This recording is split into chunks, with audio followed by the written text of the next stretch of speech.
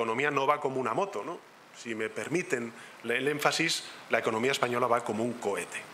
Ayer mismo la Comisión Europea volvió a revisar al alza su previsión de crecimiento para la economía española en el año 2024 hasta el 2,1%, es decir, tres veces más que la media de la eurozona.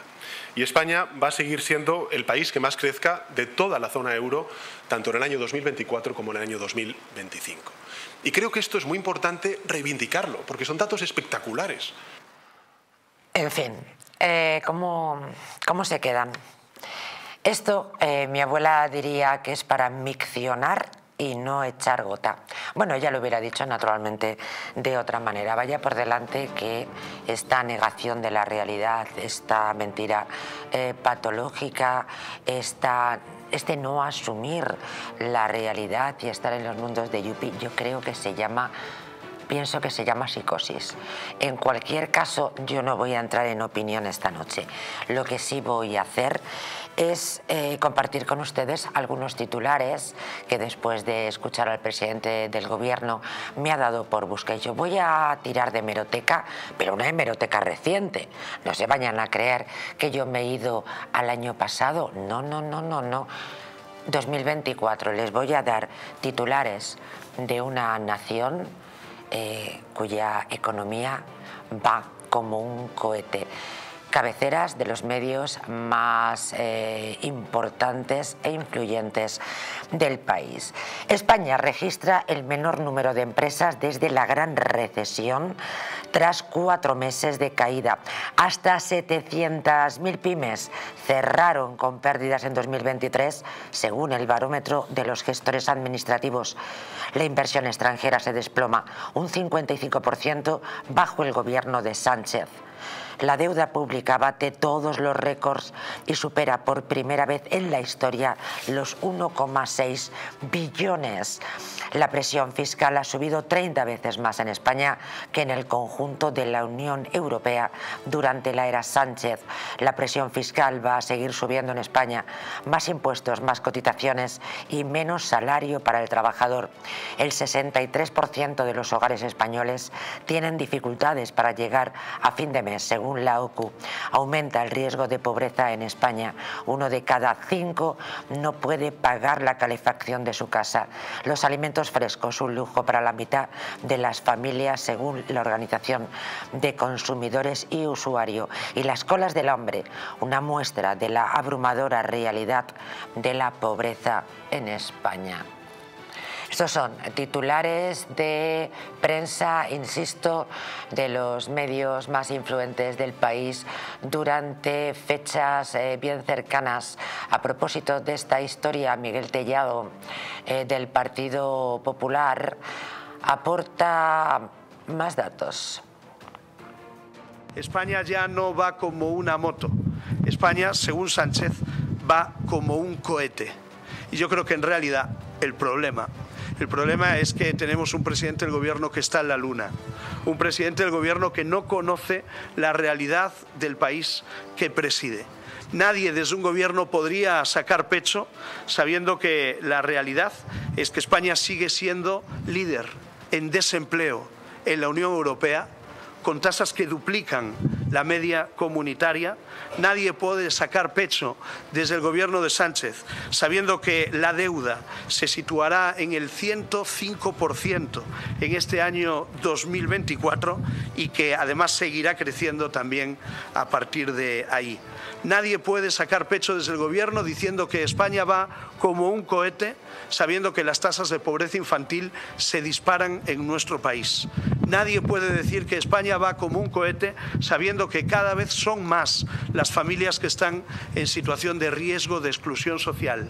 Nadie serio y responsable puede decir que España va como un cohete sabiendo que cada vez son más las familias que tienen dificultades para llegar a final de mes con una inflación que se dispara y que ha encarecido la cesta de la compra como la ha encarecido. Pues datos eh, más que objetivos para decirle al presidente del gobierno, señor Sánchez, una vez más está mintiendo. Y el problema de todo esto es eh, el, drama de muchos seres humanos, aquellos que se creen sus propias mentiras y terminan viviendo una realidad ficticia como si efectivamente se ajustara a verdad. Insisto, échese una revisión, señor Sánchez. Creo que esto, insisto, se llama psicosis. Buenas noches a todos, bienvenidos al mundo al rojo.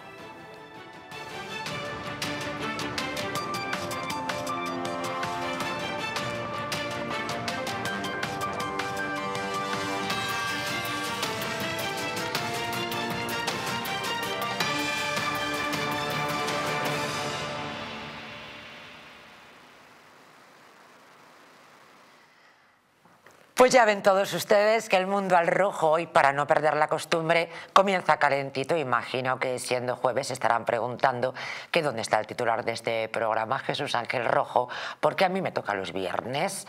Eh, en el día de hoy, eh, Jesús Ángel Rojo junto a su esposa se encuentran en estos momentos en Mónaco, invitados por el príncipe Alberto a una cena que eh, está teniendo lugar en estos momentos. Pero el lunes aquí le tienen, como siempre, como un reloj. Hasta entonces, venga, vamos a hincarle el diente a la actualidad porque... La verdad es que aburrir, ya les adelanto yo que no nos vamos a aburrir. Hoy estará con nosotros Roberto Centeno como para aburrirse. María Montero. Antonio Muro. Lucio Muñoz, Arancha Cabello, Carlos Paz. Y también vamos a contar con Alberto Serrano eh, con él eh, hablaremos de un libro interesantísimo eh, que les va a encantar. Se llama Un político en minúsculas. Y sí, sí, es un título muy afortunado para los, para los tiempos que corren. Será el broche del programa hoy, pero hasta entonces tenemos mucho que compartir con todos ustedes. Saludamos a Carlos Paz. Carlos, muy buenas noches, ¿cómo estás? Pues muy buenas noches y un placer como siempre estar aquí en este programa. Para nosotros, eh, ya lo sabes también. Oye, tremendo, hemos comenzado eh, contestando sin opinión al presidente del gobierno. El tío dice que no va como una moto, que ya lo dijo en tiempos, recordamos. No, no, ahora va como un cohete. Pero oiga, eh, los datos son objetivos, los que hemos leído a nuestros telespectadores y las palabras de de Tellado ampliaban esa información. Oiga, esto es para que se le caiga la cara de vergüenza, ¿no? O sea, nos toma por, nos toma por cretinos realmente. Muchas veces se dicen las frases sin decir el final. Eh, yo coincido con el presidente en que va como un cohete, va como un cohete hacia el abismo. Ahí las dado, ahí las dado. Quizá la frase no la había terminado. Eh, por una parte, eh, hablan de cifras macroeconómicas que muchas veces no reflejan pues la realidad cotidiana y son unas cifras que eh, pueden llevar a engaño, de hecho son interpretables, se, tergiversan por parte siempre de los gobernantes y se da una interpretación al gusto eh, de quien gobierna para justificar la situación. La situación es la que es, has relatado la situación de esas 700.000 empresas, has relatado la situación de la inversión extranjera, de la deuda, has hablado de la situación doméstica. Recorto histórico y con datos y eso no es interpretable.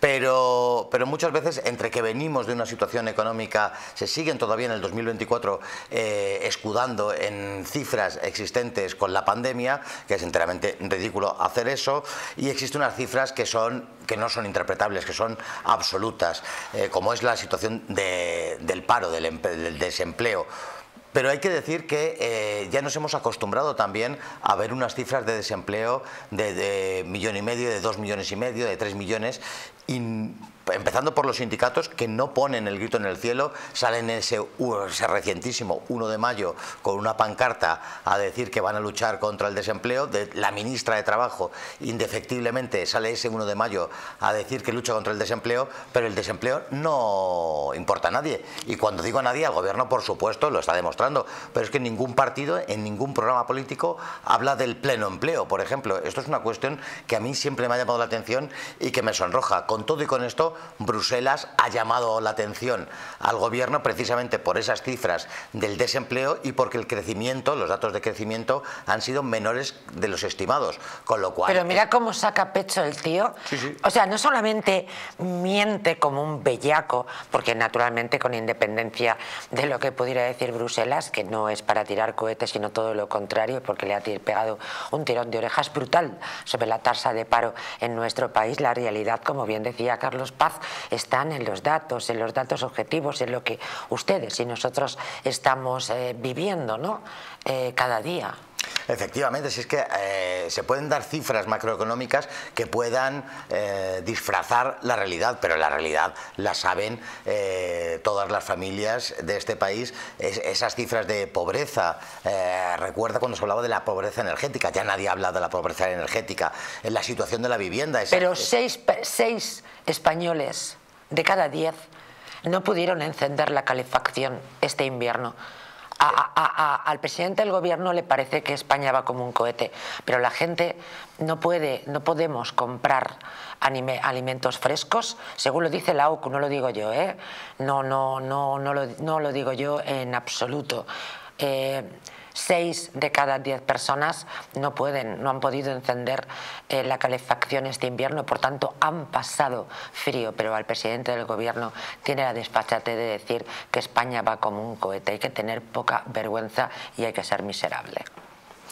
Sí, eh, eh, son esas cifras que eh, muchos manejamos cuando nos acercamos a estas cuestiones económicas, que por mi parte dejo muchas veces de soslayo aparte esas cifras macroeconómicas para ver esos índices de la población, esos porcentajes de la población que están, se encuentran o inmersos por debajo del umbral de la pobreza o, rozando ese umbral, de la pobreza, que además hay algunos indicadores de del umbral de la pobreza que se están rebajando, pero con todo y con eso cada vez el porcentaje aumenta. Unas cifras que en España no se veían, pues no sé hasta cuándo habría que retrotraerse, pero desde luego 40 años por supuesto. Hombre, hay récords eh, históricos como por ejemplo en la deuda pública. Récord histórico de lo que debe España desde que eh, Pedro Sánchez está en el gobierno. Insisto, récord histórico. Pues miren, vamos a seguir con cifras. El gobierno solo ha entregado en el primer trimestre el 0,1 de los fondos de la Unión Europea. Voy a volver a repetirles el dato para que no quede la más mínima duda. El gobierno solo ha entregado el 0,1 de los fondos de la Unión Europea de 2000 24. El mismo gobierno que ha subido 30 eh, veces, no sé cuáles son los datos que he dado, pero vamos, eh, la presión fiscal, 30 eh, veces más, perdón, la presión fiscal ha subido 30 veces más en España que en el conjunto de la Unión Europea. El mismo gobierno es el que tiene la cara dura de no entregar más que el 0,1% de los fondos. Ay, Dios mío, el señor Centeno está con nosotros, siempre un, gusto. ¿Cómo está, señor Centeno? Muy buenas noches. Muy buenas noches. Roberto Centeno, bienvenido a tu programa. Muchas gracias. Bueno, ¿cómo cogemos esto? Bueno, mira, primero, eh, naturalmente, pues hay que hablar de los fondos europeos y de la cifra que verdaderamente causa absoluto sonrojo. Pero mm, mira, hay una cosa que no puedo mm, dejar de... Es que la he oído sin querer, ¿eh? Uno de las personas que está en el estudio, no sé quién es porque no veo el estudio desde donde estoy, eh, eh, decía, hablaba de que hace 40 años comparaba que no estábamos tan mal o algo así como hace 40 años. Carlos Paz comentaba efectivamente cómo hemos dado datos económicos para rebatir al presidente del gobierno que anda diciendo por ahí que la economía va como un cohete, pues eh, Carlos Paz efectivamente daba datos y decía que no se había pasado peor desde hace 40 años. Ya, pero es que no, no es así, desgraciadamente. Vamos a ver. eh, eh, es que mm, yo no entiendo cómo mm, la gente no conoce estos datos porque son verdaderamente tremendos. Mira, en el año 75, en el año 75, vamos a poner las fechas, que fue el año en que muere el general Franco, España había pasado de ser un país subdesarrollado a ser la octava potencia económica mundial, la octava. Hoy somos la 16 Entonces, no es que nos podemos comparar con el año, eh, con hace 70, bueno, con, hace 40 años. Es que estamos muchísimo peor, muchísimo peor. En aquel momento, en aquel momento, queridos amigos, España tenía la misma renta per cápita que Irlanda, el 12%. Eh, perdón, el, 12.000 12 eh, dólares de renta per cápita, la misma. Hoy tiene Irlanda tres veces más que nosotros. ¿eh? Pero eh, en la época, en los 15 años anteriores al año 75, España creció una media del 7,5% anual. en los 40 años o 45 años posteriores a la transición, ha estado creciendo al 0,8% de media. Es decir, ha sido un hundimiento brutal. Nos están superando países que estaban absolutamente, eh, digamos, en la miseria. ¿eh? Nos han superado seis durante el periodo de Sánchez y nos van a superar diez más según la OCDE que lo he repetido varias veces, pero lo tengo que repetir más veces. Y lo tendremos muy en cuenta. Vamos a meterle el diente a ese reparto, por favor, de los fondos. Eh, por ciento. Bueno, la cifra es verdaderamente sonrojante. No, no, es de extrañar porque eso es lo que sucede eh, cuando eh, hay gobiernos progresistas. Los gobiernos progresistas significan, para que no se equivoquen ustedes, incompetencia, empobrecimiento, paro y miseria. Eso es un gobierno progresista. Bien, eh, el 0,1% significa que de 33.861 millones que habría que invertir en el año 24, se han invertido 34, querida María José. ¡Qué barbaridad! 34 ¡Qué millones. vergüenza! Pero luego cuando miras los detalles, es que ya te entra la ira y la desesperación, no sé cómo llamarlo. ¿eh? Mira, gestión de aguas, ¿eh? que es esencial para este país, cero. ¿eh? viviendas de protección oficial, cero. Se van, a, se van a invertir 205 millones, con lo cual se construirían probablemente unas mil viviendas ¿eh? Eh, en, este año de protección oficial. ¿eh? Franco construyó cuatro millones y medio, y no soy franquista, pero hay que poner las cosas en su contexto. pero luego mm, hay otras cosas que me irritan más si cabe, porque claro, estas cifras que son absolutamente sonrojantes, que son de vergüenza, ¿eh? luego mienten eh, eh, tremendamente, luego hablaré de las mentiras, pero es que el tipo en la Unión Europea, que es un italiano que se llama, que tiene que controlar esta historia, un tal Paolo Gentiloni, un italiano, en una rueda de prensa el otro día, Va el tío y dice que como España tiene un mercado laboral fuerte, y dice, vamos a ver, Paolo, Paulito, pero tú eres tonto o qué te pasa? Porque además esto me produce una idea tremenda, porque Paolo Gentiloni cobra, cobra entre 250 y 300 mil euros al año, aparte de que tiene una legión de gente que trabaja para él. ¿Cómo narices puedes decir que España tiene un mercado laboral fuerte, tonto de lava, si tenemos un paro que es el mayor, el más del doble del de la Unión Europea? Yo es que no lo entiendo. Y luego dice que España va a crecer debido ha impulsado por la demanda interna, ¿eh? dice el Paolo Gentiloni.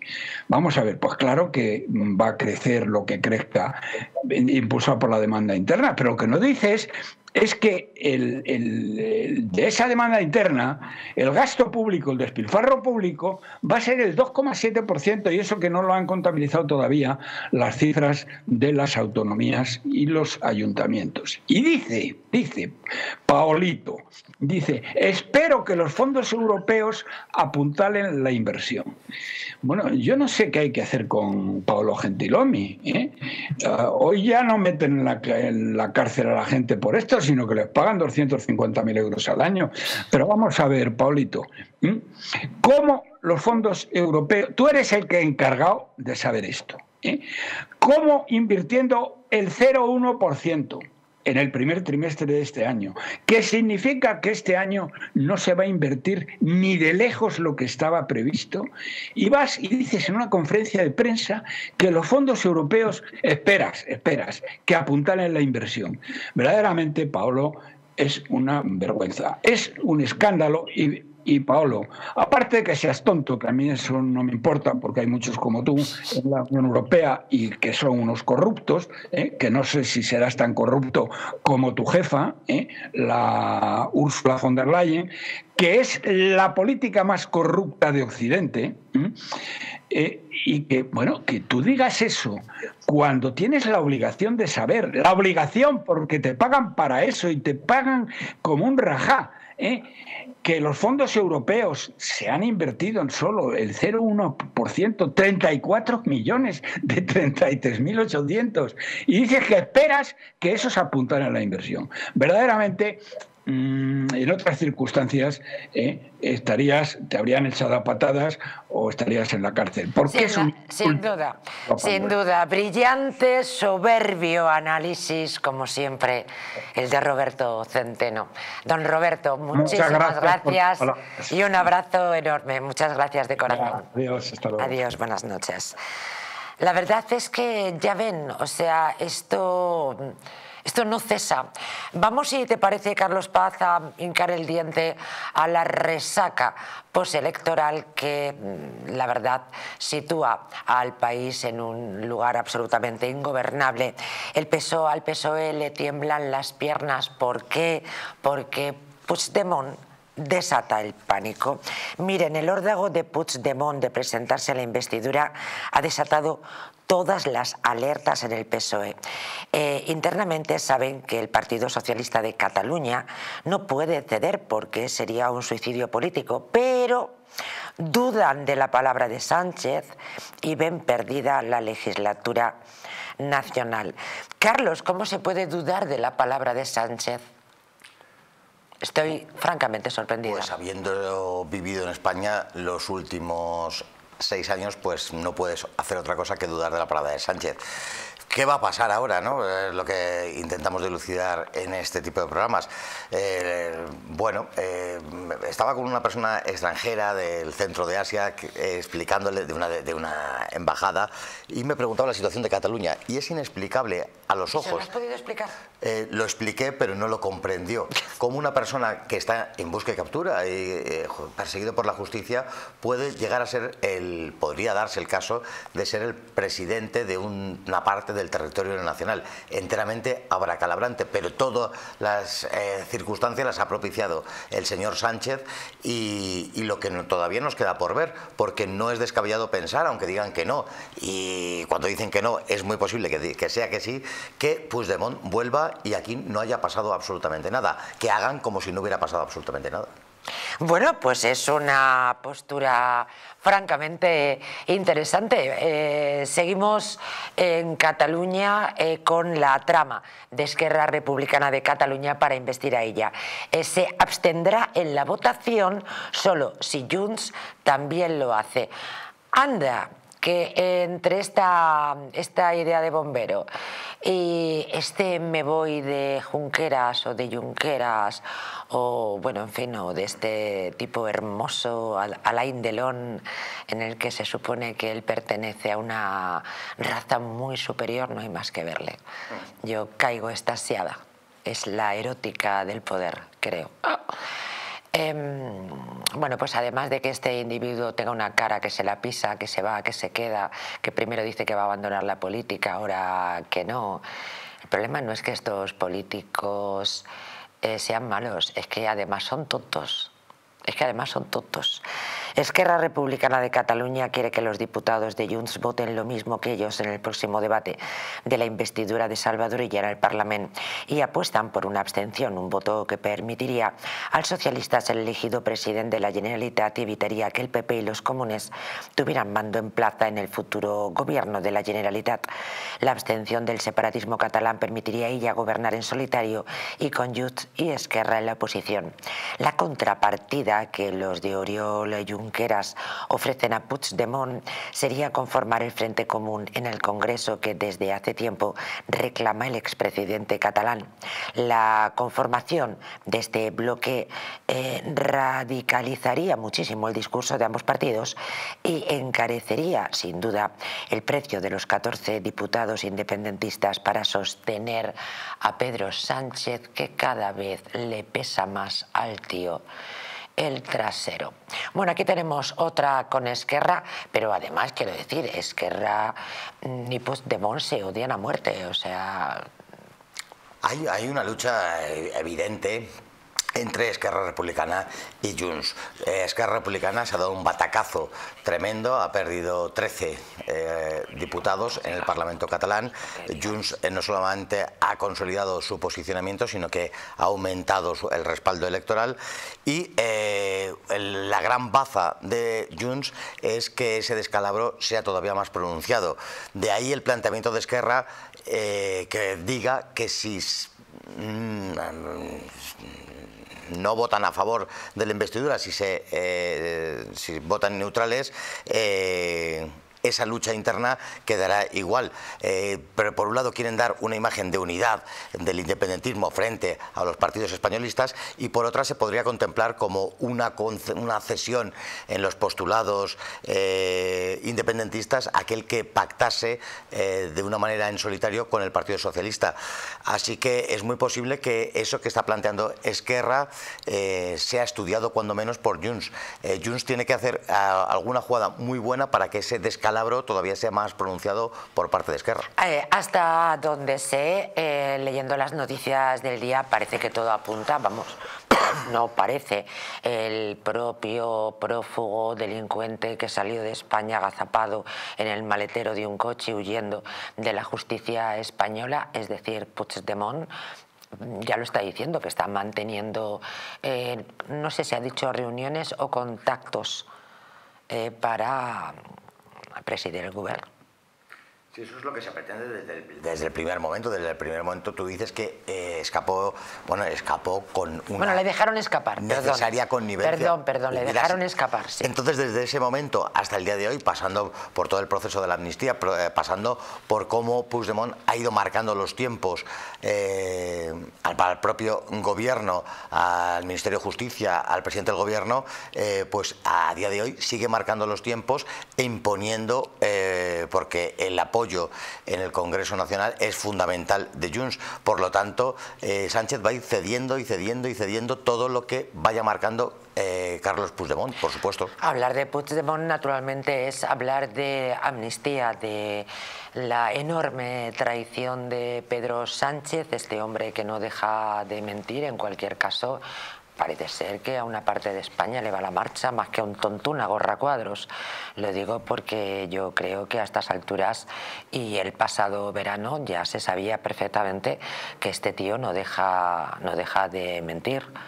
Entonces no es menos cierto que también hay mucha gente ahí apoyando, es decir, os va la marcha, quien sea va a la marcha y gusta que, y gusta que mientan. Les recuerdo que este gacho, que este individuo, que este, este ser eh, que es un mentiroso patológico, en mi opinión, francamente peligroso, que debería tener un estudio eh, psiquiátrico interesante, porque lo mismo es un problema en manos de quien está el gobierno de España. Ya no hablo por la gestión pública, hablo por, en fin, este tipo de circunstancias. Bueno, va a perpetrar la mayor traición, efectivamente, la aprobación de la amnistía. Hace unos días el escritor y académico Arturo Pérez Reverte definió a Pedro Sánchez como embustero, tramposo, sin escrúpulos, eh, que aguantará hasta que agote los conejos de la chistera y no quede nadie a quien vender o traicionar. El escritor dice que es todo esto, pero que en el fondo es un genio. Yo creo que no, que va. Yo creo que eh, los españoles somos muy tontos. No es una cuestión de que él sea muy brillante. A lo mejor el problema somos nosotros, el Senado. Veto este martes la ley de amnistía por inconstitucional y por una tramitación tramposa, estirando el reglamento y la ley al antojo y conveniencia de Sánchez y sus socios, o mejor dicho, con pinches, en este atraco a la democracia, la ley regresa al Congreso donde se aprobará, Carlos, definitivamente. Esto ya es un hecho consumado. Sí, absolutamente. La bueno, la treta de eh, que esa ley vaya al Senado. Se podía haber hecho algo más por parte del Partido Popular, podían haber bloqueado mucho más, podían haber estudiado la cuestión y había resortes jurídicos que le hubieran permitido retrasar más esto, pero eh, sabíamos todos que iba a volver, como así lo marca la ley, al Congreso y va a ser indefectiblemente eh, aprobada. Se va a consumar una traición, yo creo que el de la descripción de PR Reverte es muy acertada, desde aquí muchas veces hemos hablado de lo que nos parece la actitud que mantiene eh, el presidente del gobierno y la amnistía mm, aquella que dijeron que jamás iba a producirse, pues la han anunciado, la han realizado y la van a votar, la van a aprobar precisamente por lo mismo que decíamos antes, porque Carlos Puigdemont eh, está marcando los tiempos y es algo eh, imprescindible para el sostenimiento del, gobierno, del gobierno existente. Por lo tanto, se va a hacer o sí o sí. Y con esto, naturalmente, queda totalmente fracturada, fracturado el principio de igualdad en España y a partir de aquí, quiero decir, ¿y a partir de aquí qué, no? Claro, eh, hemos estado desgranando durante meses eh, que este, la aprobación de la amnistía lo que supone eh, desde un punto de vista jurídico y por supuesto en ese principio de igualdad se parte habrá muchas circunstancias por las cuales los españoles se planteen por qué hay personas que pueden saltarse la ley y ellos no pueden hacerlo. Por ejemplo, por qué va a ser ilegal no pagar impuestos. Eh, lo primero que se me ocurre. Claro, muchísimas casas, totalmente de acuerdo. ¿Por qué la ley se, nos va a aplicar a, a los mortales y no a ese tipo de gente? Desde luego. O sea, ¿cómo se va a explicar esto? Si no hay un principio de igualdad si un tipo comete un delito y le amnistían, pues el resto esperamos cometer delitos y que nos amnistíen de la misma manera. ¿Saben por qué? Porque entendemos que todos los españoles somos iguales ante la ley. Sencillito, vamos, yo creo que sencillito. El PP impulsará acciones legales contra el Congreso si mantiene el bloqueo al Senado para llevar la amnistía. Al Tribunal Constitucional el PP no quiere dar por resuelto el choque entre Senado y Congreso por la amnistía. El Grupo Popular en el Senado ha anunciado eh, hoy mismo que va a estudiar acciones legales contra la mesa del Congreso porque ha incumplido las normas para poder tramitar el conflicto de atribuciones ante el Tribunal Constitucional. El Partido Popular Considera que la vía para que el Senado acuda al Tribunal Constitucional ha quedado bloqueada por la maniobra de Francina Armengol, que ha dado contestación al requerimiento que le envió la Cámara Alta a través de la mesa, sin pasar por el Pleno para que se pronuncien todos los grupos parlamentarios, Carlos. Aquí no se, o sea, no dan, no dan una derecha, así se lo manda el médico. Bueno, pues son los las tretas de leguleyo que se pueden hacer eh, para ir retrasando la cuestión. Pero por otra parte, tampoco confiemos nuestras esperanzas en el Partido Popular, porque no eh, ha manifestado, ni en este ni en otros muchísimos casos, eh, una, un gran fervor por oponerse a ninguna cuestión que plantee el Gobierno. En esta circunstancia, pues va a hacer algunos brindis al sol, va a hacer gestos, pero que van a retrasar siquiera un mínimo esa traición que se con la aprobación en el Congreso de la ley de amnistía. Eh, fíjense cómo está el patio que eh, traidor ni obrero ni español los gritos eh, a Bolaños mientras esperaba en un semáforo el descontento de los españoles con el gobierno ya no se limita a Pedro Sánchez. Las alarmas han saltado en Moncloa en los últimos meses tras comprobar que la muestra de rechazo comienza a afectar cada vez a más ministros. No les voy a contar eh, los insultos a Pedro Sánchez que hemos eh, visto en este programa, pero recuerden, PSOE traidor, ni obrero ni español a Bolaños en una parada, tremendo. Venga, con, vamos, eh, le echamos más leña al fuego, que yo sé que a ustedes les gusta. Pues sí, caso Ereno. Denuncian al ministro Torres por supuesto uso de la base clandestina de datos de la Guardia Civil. Sí, tenemos para interior bastante leña que repartir en este programa. María León, muy buenas noches. Buenas noches, ¿cómo perdón, Montero, discúlpame que no sé por qué te he cambiado de pronto eh, el nombre. Bienvenida, querida. Recordamos a todos nuestros oyentes de Cierre Digital una noticia que además habéis llevado en la portada. Cuéntanos, esto, esto no cesa. Pues no, desde luego, mis queridos compañeros, porque además este caso fue denunciado ya hace un año, hay una investigación abierta. Sí.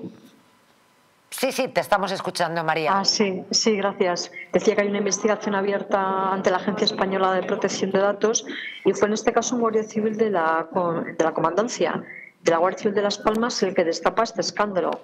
Eh, me explico, hay una base oficial de datos que se llama SIGO y una base clandestina de datos también que se crea en esta comandancia, pues justo cuando estalla la pandemia, en el año 2020, eh, y bueno, venía funcionando hasta hace un año aproximadamente que fue denunciado, y en este caso pues eh, le ha salpicado varios mandos de la Guardia Civil de, de esta comandancia de Las Palmas, pero es que además, como en ese momento era el presidente de Canarias, Ángel Víctor Torres, y su consejero de, Seguridad y Emergencias, Julio Pérez, aparte del director que tenían, pues este Guardia Civil ha considerado que también deben formar parte de esta denuncia por haber accedido de manera ilícita a una base de datos no oficial a espaldas y es que se compartían datos sin fiscalización y sin control, datos sensibles, pues como operaciones policiales, como datos de víctimas de violencia de género, qué pateras llegaban, qué detenciones había, procesos judiciales, visitas de presidentes y ministros a las Islas Canarias. En fin, era una barra libre de datos a la cual también tenía acceso hasta base no oficial el propio delegado del Gobierno de Canarias, Anselmo Pestana, que también forma parte de esta denuncia. Y para más ¿Qué pinta aquí la Policía Autonómica de Canarias? Pues lo mismo, accedía de manera no oficial a esta base, puesto que no tiene ni base de datos y además no existe ningún convenio por parte del Ministerio del Interior con la Policía Autonómica de Canarias ni con el Gobierno canario para acceder a este tipo de información sensible. Por lo tanto, esta macrodenuncia que ha sido ampliada sucesivamente durante un año aún está siendo investigada por la Agencia Española de Protección de Datos. ¿Qué sucede? Que al ser denunciado el propio expresidente de Canarias, actual ministro, pues estaríamos ante un supuesto eh, gravísimo, pues porque nunca se han dado explicaciones y directamente, como comentando, salpica el Ministerio del Interior. Ni más ni menos, ni menos ni más que diría aquel María, vamos a seguir muy de cerca esta información, vamos a ver al final eh, lo que da de sí, pero como bien decías, es que apunta muy alto ¿eh? esta información que estás compartiendo con el mundo al rojo. Sí, muchísimas gracias. Seguiremos de cerca porque además Todavía no ha habido ceses eh, ni dimisiones, como estaréis imaginando, pero fijaos qué importante es que la agencia española lleva ya un año investigando y se temen, se temen sanciones importantes. Así que os, seguiremos contando cómo acaba esta base de datos ilegal llamada Geno. Pues aquí eh, continuaremos y te escucharemos en este tu programa. Gracias, María. Muy buenas noches. Gracias. Buenas noches. Un saludo. Bueno, esto es un no parar. A veces recuerdo que con eh, los telespectadores decimos, caray, recuerda un poco esa España de 1996 cuando la opinión pública se levantaba cada día con un nuevo escándalo. Pero al menos entonces, que yo no le voy a quitar delito a aquella situación política, económica y social tan terrible que vivió España, pero oiga, por lo menos la altura intelectual de los protagonistas es absolutamente incomparable eh, con la panda de memos, de memas y de memes de los que, a los que tenemos que hacer referencia. Bueno, en aquellos tiempos, en, los años 90, tampoco eh, presidía el gobierno Heidegger ni estaba Ortega y Gasset. No es que fueran unas lumbreras, pero claro, comparados Hombre, yo creo que no se puede... vamos a ver, ¿cómo vamos a comparar a Felipe González con Pedro Sánchez. ¿Cómo vamos a, comparar un listado eh, de personajes, algunos corruptos, absolutamente lo que tú quieras, pero vas a comparar con la indigencia intelectual? Pero hay, hay simplemente, mira, hay un informe que habla de la falta de conocimiento eh, de la ministra de Sanidad. Esta es la gran mema, la médica madre y, y en fin. Eh, y es que cada vez que hablamos de un ministro tenemos que, tenemos que sonrojarnos. Sí, sí, claro, se ha bajado tanto el nivel eh, que esto empezó con Zapatero, con aquellos ministros, me estoy recordando a Viviana Ido, por ejemplo. Cierto. Eh, claro, se abrió la puerta a que cualquiera, en, en el peor sentido de la palabra, mira Irene Montero. pudiera ser ministro. Luego vino eh, en tiempos contemporáneos Irene Montero al lado de Felipe González Felipe González parece Pericles, indudablemente. Hombre, por favor. Pero no es Pericles, no, era Pericles, no era la reencarnación. No, no, no vamos a discutir ahora sobre la dimensión. Pero comparado con los que hay hoy, indudablemente, pues parecían eh, Justiniano y Pericles juntos. Eh, lo de los escándalos sí tiene un cierto parecido, la continua afluencia, eh, proliferación de escándalos, sí recuerda a aquella época de los 90, en donde alguna vez he contado, para los más jóvenes que no lo recuerden, que en el periódico El Mundo, que surge al principio de los 90, el 90-91, eh, ante la... que era de los 80 El Mundo. El Mundo surgió, eh, yo creo que es de, siquiera fuera del 89, pero no, no antes. O 90-91 y en Que se aprende en el mundo al rojo. en aquellos años, principios de los 90, había una sección que era corrupción. Entre, entre, deportes e internacionales. Y la tuvieron que ampliar. Eh, continuamente eran o la ampliación de los escándalos anteriores o la aparición de los nuevos, nuevos. Pues esto es lo que estamos viendo hoy y además es que como se suceden celéricamente, uno tapa al otro. Ya no, ya no hablamos del Tito Berni, por ejemplo. Sí, pues hoy vamos a hablar. Ah, pues será en el único programa. Hoy vamos a hablar. Y mira, hablando de escándalos absolutamente brutales, Marlasca, ya que estamos hablando de elecciones, eh, ahora no vamos a hablar de las catalanas, Marlasca evita dar información sobre las auditorías e incidencias de Indra durante las elecciones del 28M. El Ministerio de Interior ha recurrido a la Audiencia Nacional para no aportar información sobre las auditorías de Indra desde el año 2018, nuevo varapalo para el Ministerio del Interior. El Consejo de Transparencia insta en una nueva resolución al Ministerio del Interior a aportar información sobre las auditorías oficiales que se han hecho sobre los comicios electorales gestionados por Indra en España desde 2018, o lo que es lo mismo, les recuerdo a ustedes, desde que Pedro Sánchez está en el gobierno de España.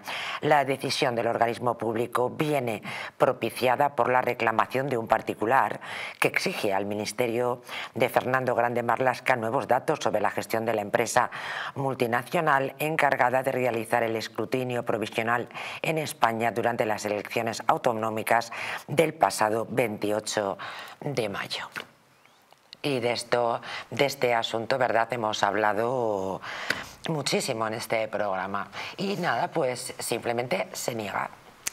Eh, sobre, esta, sobre esta cuestión he visto que nuestro amigo Guillermo Rocafort Efectivamente. tiene varias cosas al respecto, le sigo en esa cloaca. Que bueno, es el rey del portal de la transparencia. Y, es muy interesante, desde aquí invito a que eh, sigan a Guillermo Rocafort, eh, pero lo grave, grave, grave de todas estas cuestiones, porque estamos hilando un caso de corrupción tras otro, es que no hay ninguna respuesta, ni jurídica por supuesto, que eso es el preámbulo a la destrucción de un sistema político, pero de la gente. La gente tampoco es que se rasgue las vestiduras, pareciese que la gente vive al margen de todos estos casos de corrupción, de todas estas irregularidades, de todos estos eh, supuestos delitos y algunos, como es este caso, eh, son de una gravedad tremenda la gente vive al margen de todo esto. Esto es lo más triste de todo, que no hay una voluntad por parte de, la población de eh, rebelarse a poner fin a todos estos casos y estos escándalos. Eh, fíjense, vamos a cerrar esta primera parte del programa sometiendo al criterio de Carlos Paz la siguiente mm, noticia. Hemos dado muchas vueltas, ¿verdad? Hemos hablado mucho de, del bipartidismo, hemos visto cómo crecían, aparecían eh, otros partidos políticos que iban a regenerar la política española, hemos visto en lo que han quedado. Miren, el rey ausente, una tarea para Felipe VI, conseguir que Feijóo y Sánchez vuelvan al bipartidismo. Eh, dicen que el padre, de, el padre, Juan Carlos I, desterrado por su hijo, dicen que ya se habría aplicado a la tarea. Dicen, ¿eh? Eh, la pregunta es si el bipartidismo, el bipartidismo progre es deseable. y dicen en esta información no, pero al menos saldríamos del gallinero. ¿Qué ha pasado con esta idea de no al bipartidismo, no a concentrar el poder en dos partidos y vamos a abrir a la regeneración política con nuevas ilusiones como Ciudadanos, Podemos, Vox, UPN y todos, bueno, Vox está ahí, pero vamos, que al carajo uno detrás de otro. Desde la transición, desde la misma transición, eh, se ideó este, este eh, régimen político, que estaba ideado desde fuera de España. Pero quienes idearon esto, conjuntamente con todo, eh, toda la trama política jurídica, político-jurídica que existe, estaba inserto el bipartidismo. Nunca se ha intentado huir del, del bipartidismo, realmente. ahora con la perspectiva que tenemos, Vox que sigue existiendo y quizá habría que apartarlo y dejarlo un poco al margen al respecto, pero desde luego Podemos, Ciudadanos, aquel partido que duró tan poco que fue UPyD, lo que venían era apuntalar el bipartidismo, no venían, hablaban de una nueva política, hablaban de todo este tipo de cosas, de romper el bipartidismo expresamente, pero lo que venían era apuntalar. En aquel momento el bipartidismo estaba cuestionado, eh, había un hastío por este ese PP-PSOE que en el fondo defienden exactamente lo mismo y desde luego que conservan los mismos principios eh, elaborados por el uno cuando llega el otro los mantiene. Eh, estos partidos lo que han hecho es apuntalar ese bipartidismo, olvidar aquellas dudas que había acerca del bipartidismo y eh, dejarnos para otros 20 años un, bipartidismo robusto, fuerte, que es el que tenemos ahora y que no hay visos de que vaya a ser roto ni mucho menos. Eh, disculpen la confusión, efectivamente he dicho UPIN en que estaría yo pensando, UPyD quería decir, hacemos un alto en el camino y les damos una buena recomendación porque el verano ya está aquí. La pregunta es, Operación Bikini eh, quieren pasarla, les gustaría perder unos kilitos de más. Si quieren volver a utilizar aquellas prendas que tanto les gustaban, Naturhaus les trae la forma más rápida y más eficaz de hacerlo. ¿Por qué? Hombre, pues porque en tan solo dos días es que van a poder bajar de peso gracias al Pack Express. Es un producto de Naturhaus que contiene todas las comidas y dietas necesarias para perder peso en tan solo 48 horas. Te ofrecemos un servicio personalizado, no tendrás que saltarte comidas, no vas a pasar hambre, porque el Pack Express se adapta a ti, se adapta a usted. Además, por la compra de un pack express, regalamos un bote de crema centella asiática. No lo pienses más, acude a tu centro Naturhaus más cercano. Regresamos en 0,0. Esto no ha hecho más que empezar. Vamos con Begoña. Bueno, no, perdón, vamos con Sánchez y familia. Esposa, hermano y suegro. Y un tío de Murcia, perdón.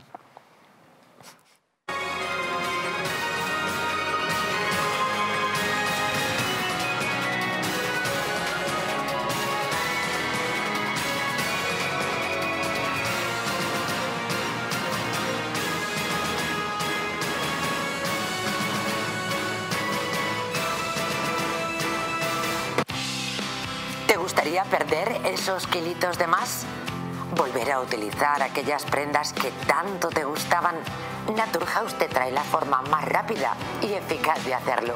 En tan solo dos días podrás bajar de peso gracias al Pack Express, un producto de Naturhaus que contiene todas las comidas y dietas necesarias para perder peso en tan solo 48 horas. Te ofrecemos un servicio personalizado, no tendrás que saltarte comidas ni pasar hambre. El Pack Express se adapta a ti. No lo pienses más y acude a tu centro Naturhaus más cercano. Molestan las manos al realizar las tareas diarias? Frente al dolor, utiliza los guantes de Relax Quanting Nanotech. Innovación revolucionaria en la lucha contra el dolor y la rigidez.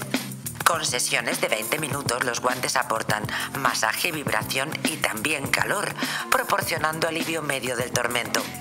Puedes adquirirlos con unos consumibles impregnados de sustancias naturales antiinflamatorias que, si se ponen durante la sesión, pueden aumentar el beneficio del guante.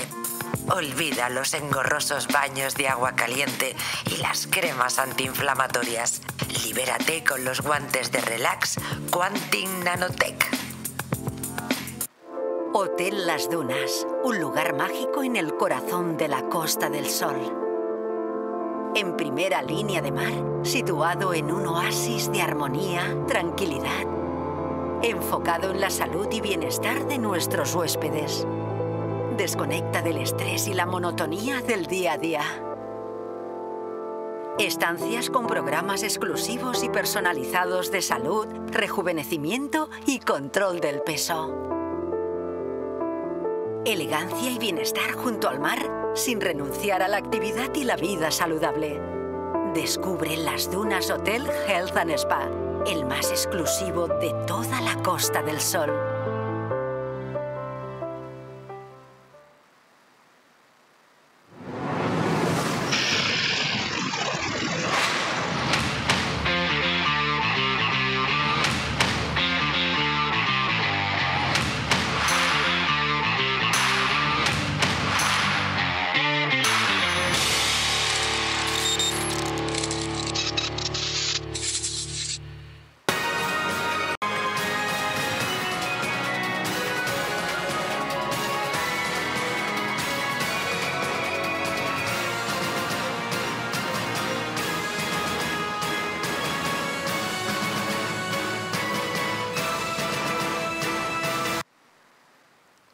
Pues ya estamos de vuelta y saludamos a Arancha Cabello, que ya está con nosotros para seguir compartiendo eh, este nuevo bloque del programa. ¿Cómo estás, Arancha? Pues estupendamente. Buenas noches. Estar aquí contigo, María José. Pues encantados todos porque ahora nos vamos a ocupar de eh, Sánchez y familia. Y como anticipaba, tenemos de todo. Tenemos a la mujer, tenemos al hermano, tenemos al suegro y lo del tío de Murcia era una ironía mía, sé que lo han entendido, pero ojo, que lo mismo el lunes en Murcia salta la liebre. Ojo. Pues señores, la norma de la Complutense que permitió la cátedra de Begoña Gómez se creó en el primer mandato de Sánchez en el PSOE. ¿Qué les parece? No lo hubieran imaginado, ¿verdad? El texto fue creado por la necesidad de la modificación de las fuentes tradicionales de ingresos de las universidades públicas españolas. Begoña Gómez convalidó, cuestión más que irregular, por la competencia obvia de las dos primeras entidades dentro de un mismo sector, puestos directivos en la Complutense y en, la, y en el Instituto de Empresa en la muy pública Universidad Complutense por medio del máster y una cátedra desde que Pedro Sánchez llegó al poder definitivo en el PSOE y en la Fundación Africa Center del Instituto de Empresa desde que el marido de Begoña Gómez llegó a la presidencia del gobierno, pero Sánchez tuvo una etapa previa de ascenso al poder. Fue entre 2014 y 2016 cuando llegó por primera vez a la Secretaría General del PSOE. Y en esa primera etapa es cuando la Universidad Complutense emitió su normativa que permitió más tarde crear la cátedra extraordinaria que dirige Begoña Gómez pese a no tener titulación universitaria oficial. Begoña Gómez o la señora D. Esto si estuviéramos en una película de cine negro mm, estaríamos pensando que había cierta premeditación ¿no? para hacerle un currículum a la señora Begoña Gómez, porque tenemos que situarnos y, ver qué es la Universidad Complutense. Yo he estudiado en la Universidad Complutense y es una universidad pública que ha tenido tradicionalmente, hasta que llegaron algunos, mucho prestigio y mucho, mucha reputación. Entonces, ¿eh? claro, ese es, ese es el problema de cuando eh, alguien como eh, este, esta pareja, este matrimonio, pues llega, alcanza el poder y decide que las instituciones son suyas, pues se van degradando y va perdiendo pues esa reputación que, que avalaba a una universidad que por cierto pagamos todos, porque es una universidad que está financiada con los fondos de, de, la Comunidad de Madrid. Pero a mí, eh, con todo esto yo hay cosas que me sorprenden mucho y es de quién depende la Universidad Complutense en términos de mantenimiento. Yo ya sé que las universidades se rigen por una autonomía, un principio de autonomía que a mí me parece correcto porque yo creo que estar sometidos o sometidas a los poderes políticos no está bien. Yo, soy de las que defiendo que cada uno de verdad debata, diga, haga. Es que mm, yo soy una libre, o sea, una gran defensora de la libertad de expresión y por supuesto de la libertad de cátedra que parece que se está perdiendo porque hay pensamiento único.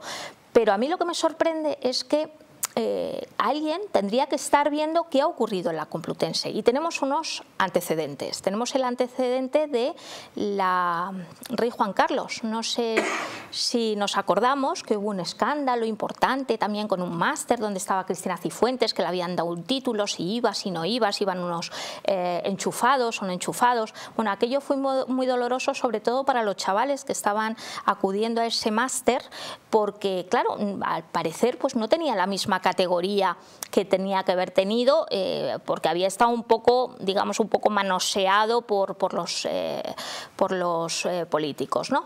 Y resulta que ahora estamos con, con un caso espectacular, que es el caso de la Cátedra Extraordinaria de la Complutense, yo no veo ni que se pidan explicaciones, ni que la Comunidad de Madrid pida explicaciones, que es la financiadora. Es cierto también que el procedimiento sancionador de las universidades es suyo, es propio, pero hombre, yo creo que igual que se hizo con la Rey Juan Carlos, yo creo que lo que habría que hacer era preguntarle a la Complutense qué ha ocurrido para tener esta situación. Preguntamos, Begoña Gómez infla su currículum de licenciada fake, concursos no oficiales de una consultora. Ay, señor. Antonio Muro, buenas noches. Hola, buenas noches, María José. Hala, venga, vamos. Y compañía. Bienvenido. Pues venga, vamos a echar más leña al fuego. Esto es el camarote pues de los hermanos Marx. Eh, a ver, yo no sé si se acuerda mucha gente, yo supongo que sí, por cuestión de los años, cuando se nos preguntaba a los españoles cuál era nuestro nivel de inglés y siempre decíamos nivel medio, es decir, intentábamos quitarnos la historia y en realidad no teníamos ni idea. Pues yo creo que un poco lo que ha hecho Begoña Gómez, hablando de las distancias, ha sido intentar que su currículo aparentara lo que no es. Es decir, hay una serie de cursos que, de dirección comercial, pero que no los da ningún centro universitario, ni siquiera privado, no los da ninguna universidad pública, sino que han sido otorgados por una consultora Curiosamente son cursos de cuatro días, según eh, las informaciones que hoy aparecían, y cursos que evidentemente al final te daban un certificado acreditativo que luego pues tú inflas como quieres en el currículo. Es decir, uno, de esos, uno de esos certificados, Antonio, de aprovechamiento. Sí, claro, es, es evidente que el, el único sentido que tiene, bajo toda esta literatura rimbombante, que la filosofía woke ha traído a nuestro mundo, en donde a través de palabras y conceptos sobre el cambio ambiental, la digitalización, en fin, nos vuelven locos, pero no quieren decir nada en el fondo, bueno, pues evidentemente hay cursos, cursos de cuatro días, que uno dice, bueno, oye, en cuatro días, dirección comercial, pues chicos, no sé, evidentemente, sobre todo una persona que, como decíais muy bien, os recordabais, ni siquiera ha obtenido una licenciatura y a pesar de lo cual, pues con unas ciertas maniobras, pues ha conseguido ser codirectora del máster. Y esto también hay que aclararlo, porque evidentemente para salvar la imagen, la Universidad eh, Complutense es verdad que en sus protocolos acabó introduciendo la figura, siempre hasta ese momento era necesario para dirigir una cátedra el ser, lógicamente, personal de la universidad y tener un título acreditativo. Y a partir de un cierto momento, que ya habéis señalado, pues eh, excepcionalmente la universidad puede contratar a alguien, pero como codirector. Y aquí viene otro de los enredos para intentar figurar que uno es más de lo que es. Si tú vas a la página web de eh, los cursos de Begoña Gómez, ella aparece como directora. Es decir, lo cual evidentemente no es cierto. Ella es codirectora, porque así lo ha querido. Y aún así, evidentemente también hay algo ahí de maniobra, porque cuando la universidad llega con los patrocinadores al protocolo para que pongan dinero, evidentemente esa figura no existe. Tenía que haber solo un director y el director eh, tenía que ser personal de la universidad. Es decir, cursos eh, que no existen, o bueno, como tal, de universidades, eh, cursos que da un centro a una persona que no es licenciada, que la acreditan ante la Universidad de Miami, Florida, o de una universidad escocesa, pero no tienen reconocimiento público, cursos de cuatro días, eh, figura en la página web con un cargo que no tienes. Es decir, evidentemente, penalmente esto, pues chicas, no va a llegar a ningún sitio. Pero lo que sí nos dice es un poco el concepto ético de quienes nos manejan o de quienes están cerca de quienes nos manejan. Desde y evidentemente, como eh, en esto en la cultura eh, anglosajona son bastante más estrictos, si tú no eres capaz de demostrar en lo pequeño que tienes una capacidad ética, ¿cómo vas a ser capaz de demostrarlo en lo macro, ¿verdad? en la gestión pública? Antonio, la verdad es que no se puede no se puede explicar mejor, no sabemos dónde va a terminar todo esto, qué recorrido legal tiene, porque luego también, claro, vamos a ver el asunto de las pruebas, cómo se consiguen y demás. En cualquier caso, lo que dice Antonio es incontestable éticamente.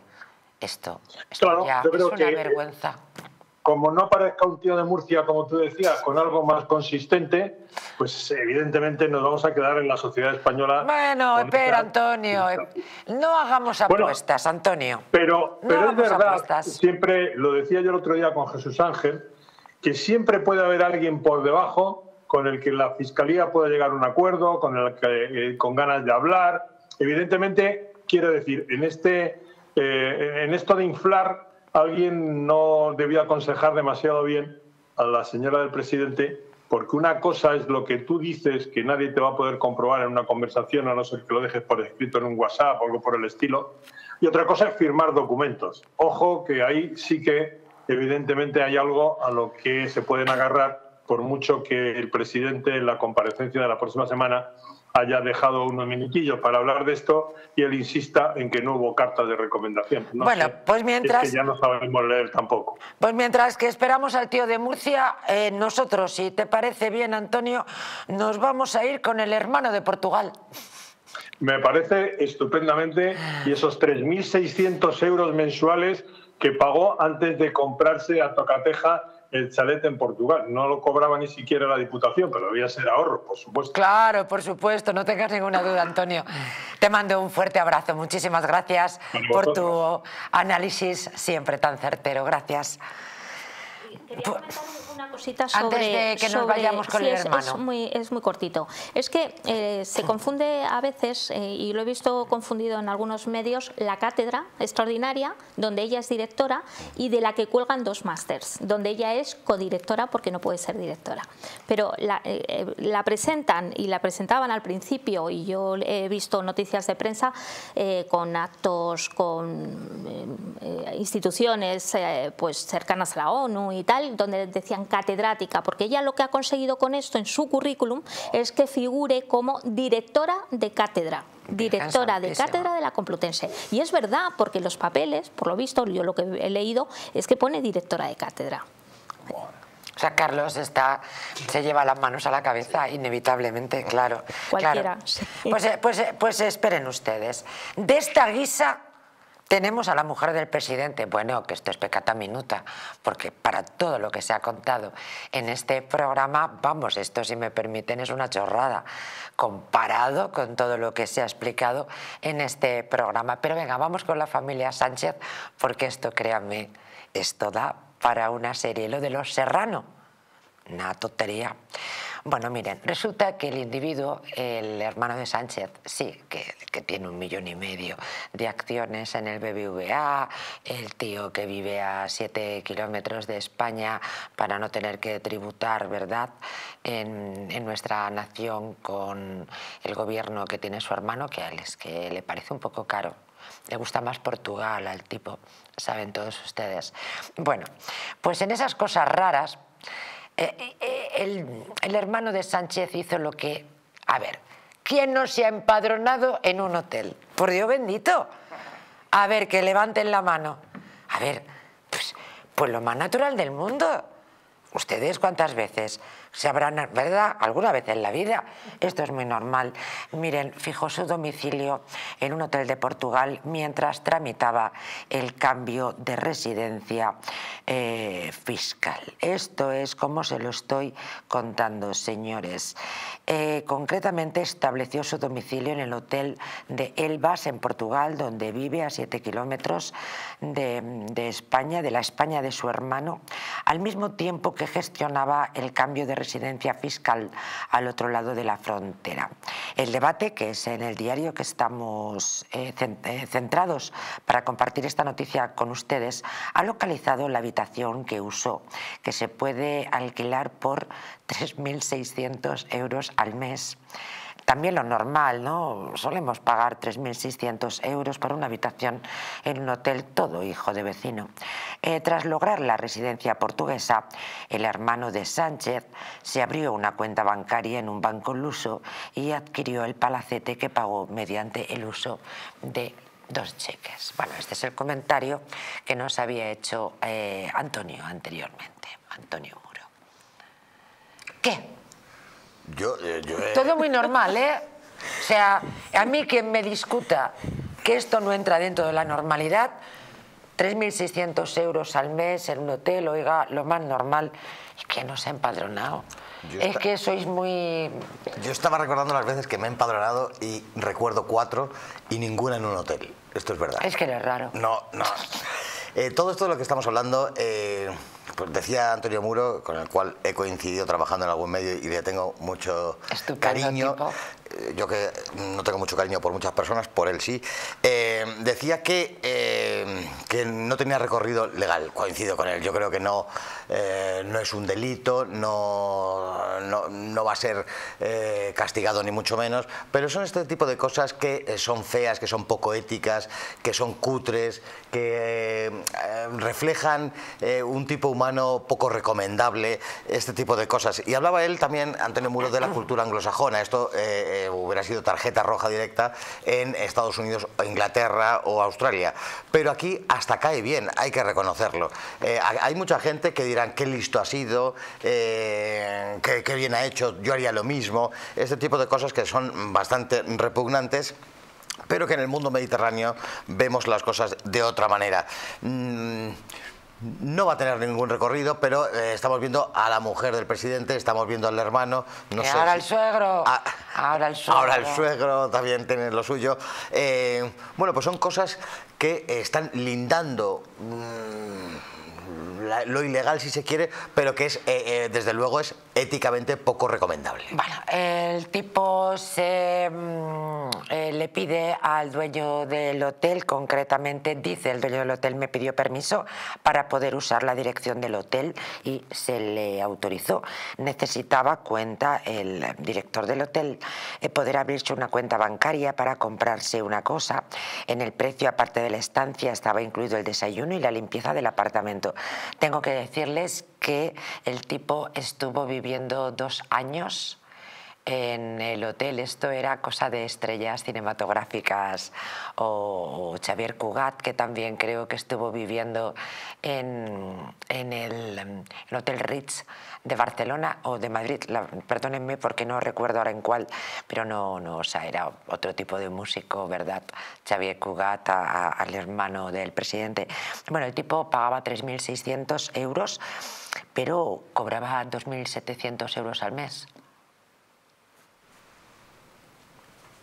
Dos años. Dos años, déjenme, 2.700. Mm. Dos años, 3.600, pero él cobraba 2.700. hay, hay una cosa eh, que ha dicho Carlos y, y que tiene, tiene razón eh, en que es difícil que Begoña, eh, en, este, ca- en, en- o en el caso de Begoña o en el caso del hermano de, de Pedro Sánchez, eh, pues eh, puedan al final rendir cuentas por estas cosas. Pero se nos olvida una cosa, para que el hermano de Pedro Sánchez esté trabajando en eh, teletrabajo, en la Diputación, para la Diputación, alguien ha tenido que estar pagando nóminas, haciendo revisiones de si iba a trabajar o no. Tiene que haber un habilitado de nóminas y alguien ha tenido que fir- firmar que este señor, este señor iba a trabajar o estaba trabajando en algún sitio. Y lo digo porque yo he sido responsable de esas cosas. Entonces, es cierto que ellos quizás se vayan de rositas, pero si se exigen las responsabilidades a quienes, a quienes han permitido esa situación, y que estamos hablando de empleados públicos, estamos hablando de funcionarios públicos, sí tienen una responsabilidad y una responsabilidad muy grande, muy grande, porque yo he visto hoy en la documentación de que bueno en, las notas de prensa y- o, o en las noticias que estaba la carta donde se informaba que no tenía autorización para estar teletrabajando y todos aquellos empleados eh, públicos saben que necesitan una autorización. Tiene que haber una normativa a la que ajustarse o si no necesitas autorización es porque ya está regulado. Tiene que haber una autorización para no estar trabajando dentro de la localidad donde se supone que tiene que desarrollar las funciones. En Badajoz, en este caso. Claro, y, y yo me haría otra pregunta. ¿Alguna vez había tenido la Diputación de Badajoz un puesto de esas características? Porque es posible que no. Entonces, ¿cómo resulta que hacen un puesto con las características del hermano de Pedro Sánchez, donde además se cometen una serie de cuestiones y de yo yo lo voy a dejar en cuestiones. Yo creo que no son yo creo que sí que pueden ser irregulares, ¿no? Pero y nadie pregunta ni nadie pone en marcha la inspección de servicios, porque claro, a este señor le han estado pagando y este señor por lo visto no aparecía por allí y no tenía unas funciones. ¿Y qué trabajos ha estado desarrollando este señor?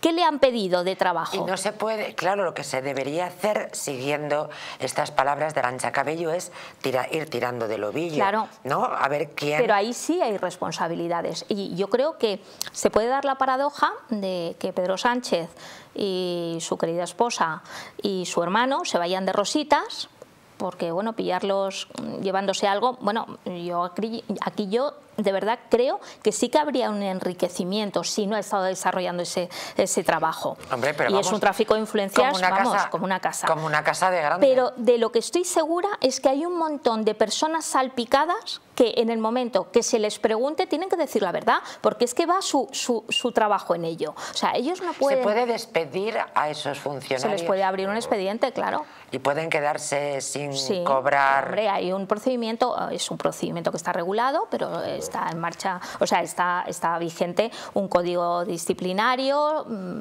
Primero Pero que vamos, que hacer a un funcionario se le puede echar a la calle para que no vuelva a ganar ni un solo euro de las arcas del Estado, o simplemente por ser funcionario puede hacer lo que le salga del arco del No, triunfo. no, no, los funcionarios no podemos hacer lo que queramos. Eh, queremos. Más, tenemos mucha responsabilidad y como la tenemos, eh, somos diligentes. Entonces, eh, O sea, se podría echar a la calle a quien ha ocultado o a, A- quien haya mentido al o a quien haya mantenido al Pedro de- al hermano de Pedro Se Sánchez le puede abrir- sin abrir trabajar expediente, y claro. pagándole 2.700 euros que le pagamos todos nosotros. Así por ¿Ese las- tío puede ir a la calle? eh, por, eh, con una sentencia judicial podría ser, Sí, pero, pero también a lo mejor es que el- el- el- la persona, eh, habría que buscar la persona que ha estado firmando que este señor Pero iba a eso es fácil trabajar, claro, eso habrá que No, verlo. Claro, Tú que eres funcionaria, eso se puede ver, sí. eso se puede ver. O sea, Hombre, claro que, que sí. si Yo no- he tenido casos de funcionarios que no venían a trabajar y, y, claro, me- el habilitado de nóminas, que es quien paga la nómina de los funcionarios, decía, mira, O sea, yo el no puedo pagar. Y entonces a mí me lo decía y yo abrí un expediente, se lo notifiqué a la inspección de servicios para que lo miraran. A Luego mm, recibí una resolución del subsecretario diciendo que pobrecito que se le pagara. Pero yo necesitaba un papel para pagar. Es decir, vamos a ver Claro. porque estas cosas quedan grabadas. Eh, se puede y se debe, de hecho, pero no porque sea el hermano de Sánchez, que será una casualidad, oiga. No, no por esto. Es que cualquier tío que está cobrando de las arcas del Estado tiene que ir a trabajar. Sea hermano de Sánchez o del Susun Cordam. como si se viste de faralaes. Es decir, que hay firmas, ¿cómo has dicho que se llama el de firmas? ¿El habilitado de nóminas? En la, perdón, eh, Diputación de Badajoz. En la Diputación de Badajoz tiene que haber un responsable de... Pero ese es el último eslabón. Para que el, habilitado de nóminas pague la nómina, tiene que tener... Eh, Anteriormente. Claro, hay, un respons hay responsables que de la deciden... por lo que tú sabes, en la Diputación de Badajoz, yo no sé como cómo... rango eh, ¿quién tendría que haber la Diputación supervisado de, esto? no lo sé, porque supongo que habrá como una especie de secretaría general, no lo sé, yo no he estado trabajando en una diputación, pero siempre, vamos, en siempre generales, hay una unidad no se puede que se dedica a esas funcionario sin ir a trabajar.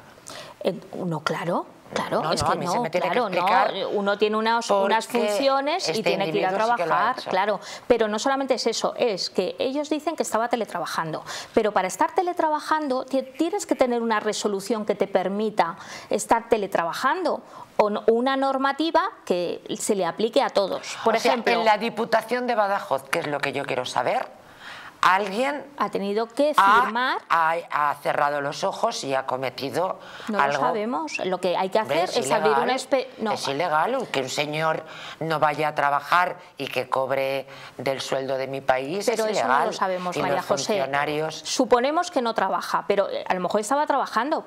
Pero Ah. aquí eh, lo importante es abrir una información, información reservada. En la inspección de servicios, porque no es un caso solamente, o sea, eh, con tantos funcionarios ocurre cosas y hay muchísima casuística. Entonces, lo que hay que hacer es, el responsable, el responsable tiene que decir, ahora que ha surgido esto, tramitar una denuncia a la inspección de servicios. La inspección de servicios lo que tendría que hacer era abrir una información reservada, que consiste en hacer una investigación, pedir los expedientes, pedir las resoluciones y interrogar a gente, oye, ¿y cómo ha podido ser? ¿Tú le has visto? ¿No le has visto? Todo eso se hace con los funcionarios. Las firmas, las y, firmas. No, no, y también porque han podido, han podido recibir órdenes. Claro, entonces eso lo, hacen los inspectores de servicios. Una vez que se tiene el informe, eso se eleva y con eso puede derivar en un procedimiento disciplinario y puede derivar en un procedimiento judicial. Bueno, pues Ese ahí, es el trámite. Ahí, ahí lo dejamos, eh, da igual eh, que sea hermano del presidente o que sea quien sea, efectivamente hay que atar corto esta circunstancia de un individuo que vive a 7 kilómetros de España. No, no es legal para pagar menos impuestos porque en España nos quedamos eh, los que azota a su hermano. El no. El mismo que vive dos años pagando 3.600 euros en un hotel cuando solo cobra 2.700 o el mismo individuo que se empadrona en un hotel, como decíamos, señores, lo más normal del mundo. Y Sánchez siembra el pánico fiscal entre los eh, acusadores de, de, Begoña. Hay temor a una oleada de inspecciones, eh, pero también es cierto que, como hemos contado en este programa, más de 15 despachos diferentes se han ofrecido en estos últimos días a llevar el caso. Pero parece que se está amenazando y eh, los ciudadanos tienen miedo tienen miedo a las represalias de Pedro Sánchez, que no solo quiere poner una mordaza a los medios de prensa libres, sino también a los profesionales atar corto. No vaya a ser que se descubra la verdad y la audiencia rechaza interrogar a Villarejo y al ex número 2 de Interior sobre si investigaron al suegro de Pedro Sánchez.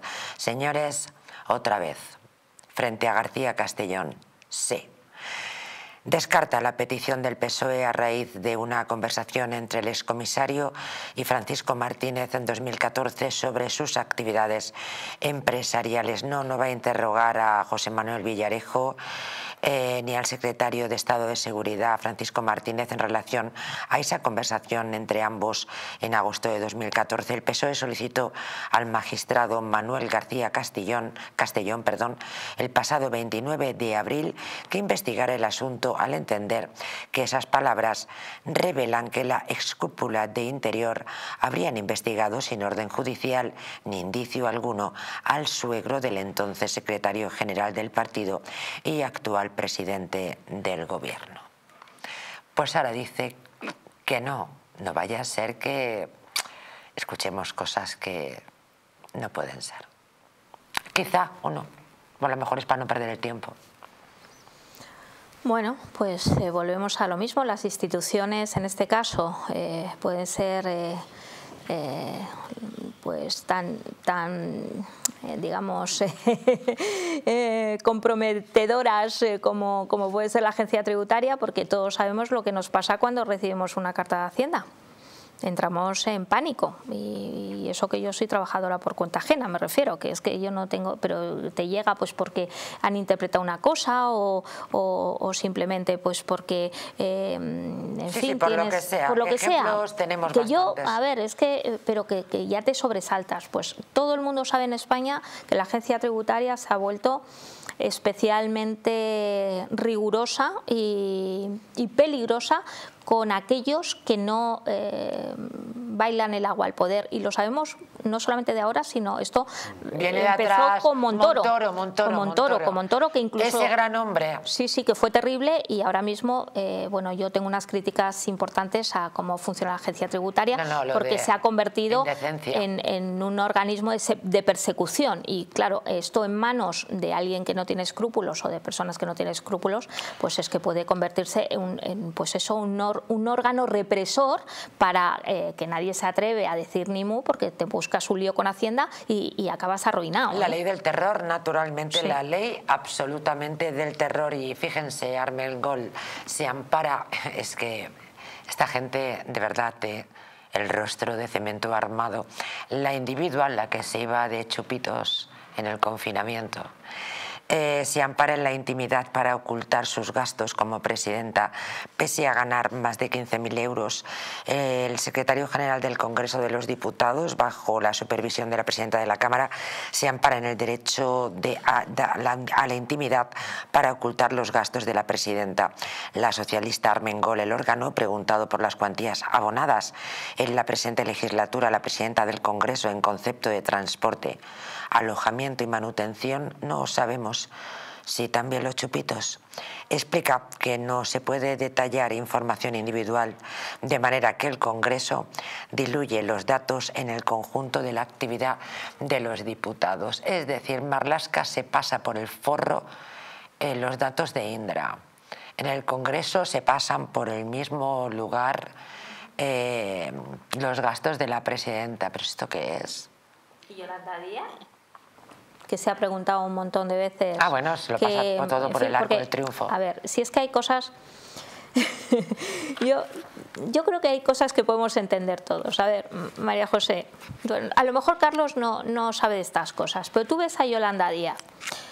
Mm, todos los días tiene un modelito diferente. Ellos no saben, pero nosotras sí. No, ¿Tú viste fotografías de los estilismos, de los outfits de Yolanda Díaz?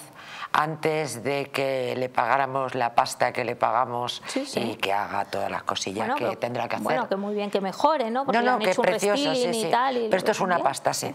Pero todos los días un modelito. Bueno, pues una pasta. por lo menos yo creo que si uno es ministro o es un, cargo público, pues y, tienes eh, pues una cuenta de gastos que no sabemos tampoco cuál es, pues le preguntemos mm, y en qué cuáles el, los gastos protocolarios, que se llaman así esas partidas, ¿no? de gastos protocolarios. ¿Cuánto se ha gastado esta señora en gastos protocolarios? Pues no lo sabemos. Porque no, además no lo dan porque no les da la gana. no contestan. Que pero claro, yo sí que me sorprendo que yo estoy en el Ayuntamiento de Madrid y veo a la señora Maroto cómo pregunta, cómo pregunta cosas que, ojo, que pueden estar bien, ¿eh? que le pregunta al señor alcalde, Almeida, le pregunta a, mm, o hacía consulta sobre eh, Begoña Villacís porque estuvo en la anterior corporación. Quiere decir que estamos hablando de gente que sí que sabe lo que tiene que preguntar y sí que sabe lo que tiene que hacer. Y sin embargo, cuando les toca a ellos, deciden que no hay transparencia, que ellos pueden hacer lo que les dé la gana cuando les dé la gana. Hombre, es que a mí esto me parece un insulto. Los investigadores, señoras y señores del caso Pegasus, no descartan acceder al contenido espiado del móvil de Pedro Sánchez. Lucio Muñoz, muy buenas noches.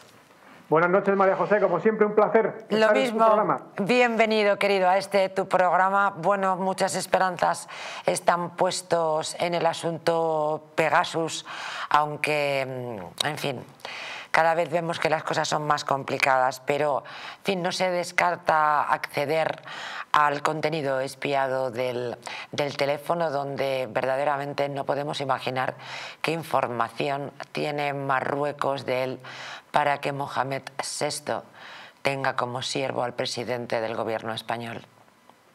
Efectivamente, María José, es un asunto muy complejo, pero que hay ciertas esperanzas después de, la última, de las últimas noticias.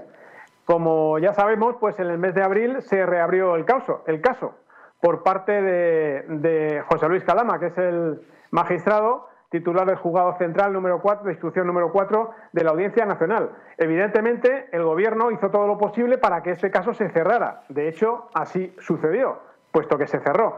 Pero eh, este, este, asunto no lo controla el Gobierno, porque mm, eh, en función a instancias, eh, a instancias judiciales francesas y en virtud de una euroorden, pues se ha, se ha enviado información a la Audiencia Nacional para que siga investigando este caso. Por, hecho, por eso eh, decía al principio de mi intervención que se reabrió el caso en abril de 2024. ¿Y por qué, por qué, digo que hay ciertas esperanzas? Pues, pues por, eso precisamente, porque el Gobierno no controla el asunto Pegasus. Es un asunto internacional y de momento el juez es Israel. Eh, la clave de todo, María José, si me permites, es lo siguiente. Eh, eh, Sánchez, el gobierno de España se ha posicionado desde, prácticamente el inicio de la legislatura, desde que tomó el poder, desde que asaltó el poder, permítaseme decirlo así de esta manera, desde que asaltó el poder a través de una moción de censura, pues se posicionó con el Grupo de Puebla, que es son las dictaduras, narcodictaduras de ultraizquierda comunistas de Sudamérica y también con el eje del mal, que es el eje eh, Rusia, China y Teherán. Eh, es decir, Irán. Irán es el, máximo enemigo de Israel. De hecho, financia Hamas, un grupo islamista, terrorista, causante del actual conflicto de, eh, que está sucediendo en Israel. Por tanto, este es el motivo principal por el cual es posible que ahora Israel, Israel pueda desvelar toda esta información que, eh, según, según las noticias, de, según los medios de comunicación, pues existen posibilidades de que este, estos datos, estos datos espiados en el móvil de Sánchez y espiados al, a los móviles de tres ministros, el ministro del Interior, la ministra de Defensa y el ministro de Agricultura,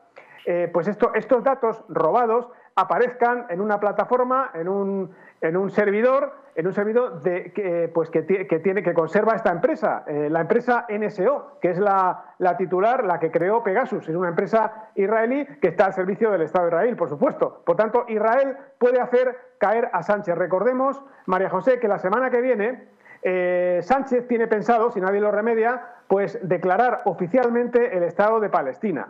Esto puede ser un punto de, partida para que Israel active pues eh, esta, situación, es decir, a través de Francia... a ver si es verdad. A ver si, a ver si es, verdad, apoyado en el reconocimiento de Palestina por Tremataos.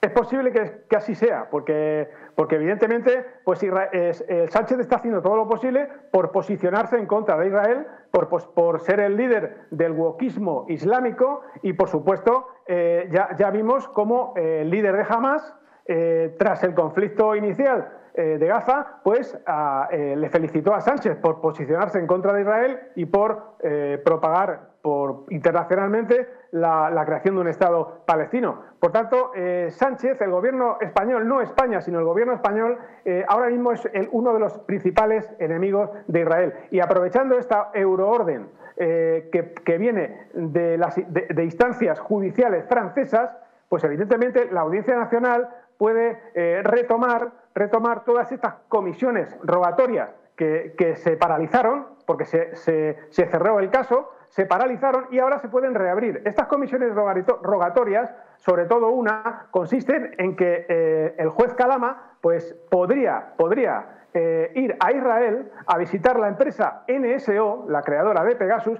y en, este, en esta visita, pues evidentemente podría conocer eh, todas, todas las informaciones que eh, esconde el, el, móvil de Sánchez.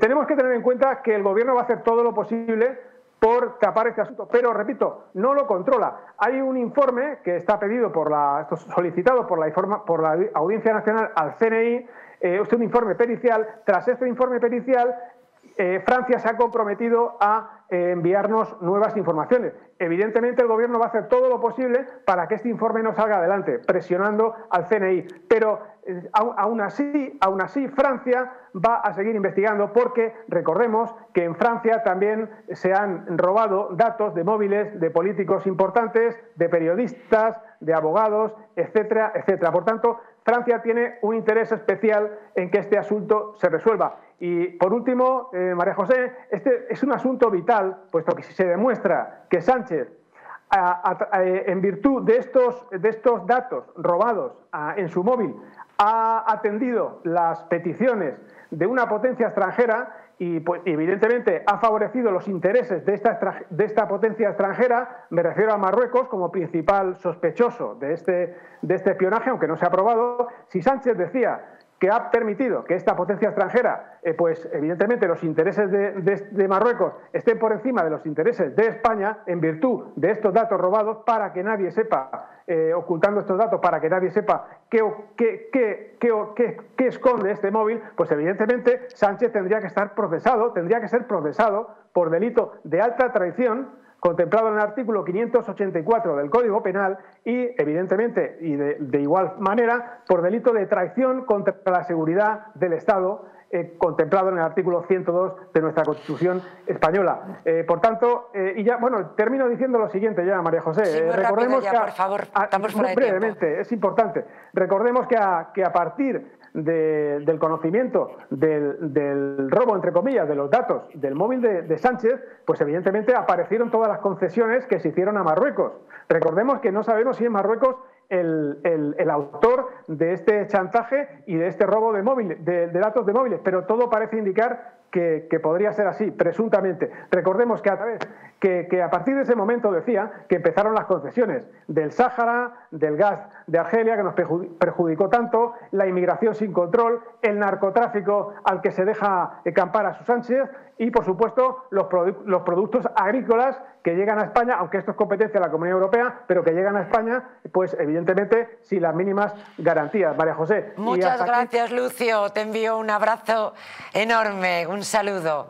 Muchísimas gracias, María José. Buenas noches. Apenas unos segundos antes de cambiar de bloque. Pues bueno, yo eh, a mí me encantaría que saliera eh, qué pasó, ¿no? Pero tampoco tengo muchas esperanzas, entre otras cosas porque Marruecos salió de eh, discrepo muchísimo. Ah, se ha hablado del eje del mal, que es ridículo. el gobierno de Sánchez no apoya a Rusia, sino que ha apoyado las sanciones a Rusia. No apoya a Irán, que apoya un bloqueo a, Irán expresamente. Se, se, ha relacionado Irán con Hamas y se ha hecho el totum revolutum absurdo de siempre, pero sí es verdad que eh, el posicionamiento de Sánchez en favor de un posible reconocimiento de Palestina es lo que anidaría en el seno de la empresa israelí de la que hablaba el contertulio para que pudiera dar a conocer lo que eh, esos móviles eh, tienen de Sánchez. Ojalá sea por el motivo que fuere, trascendieran y se supieras de verdad por qué tiene esa sumisión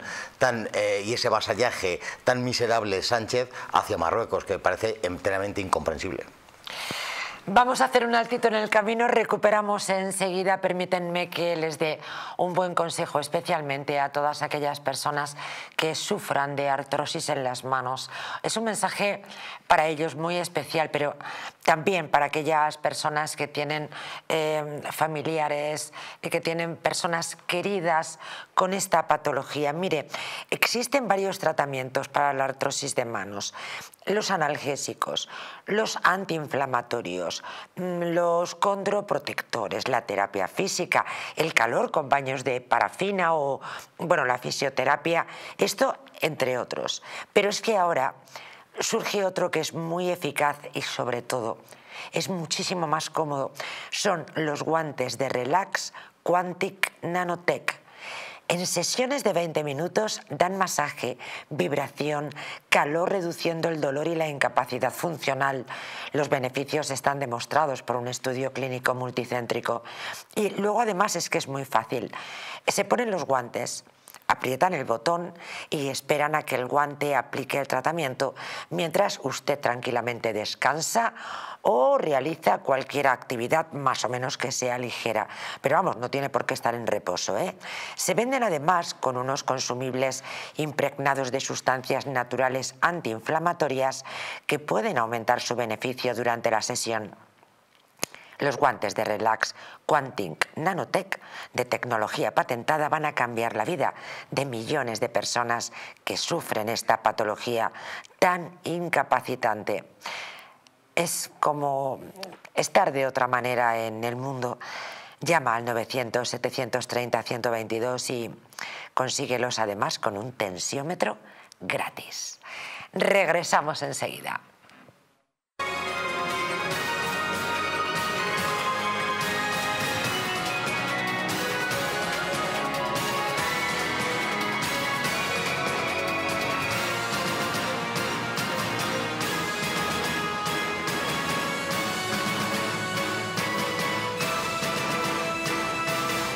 Seguridad protege tus activos de la ocupación.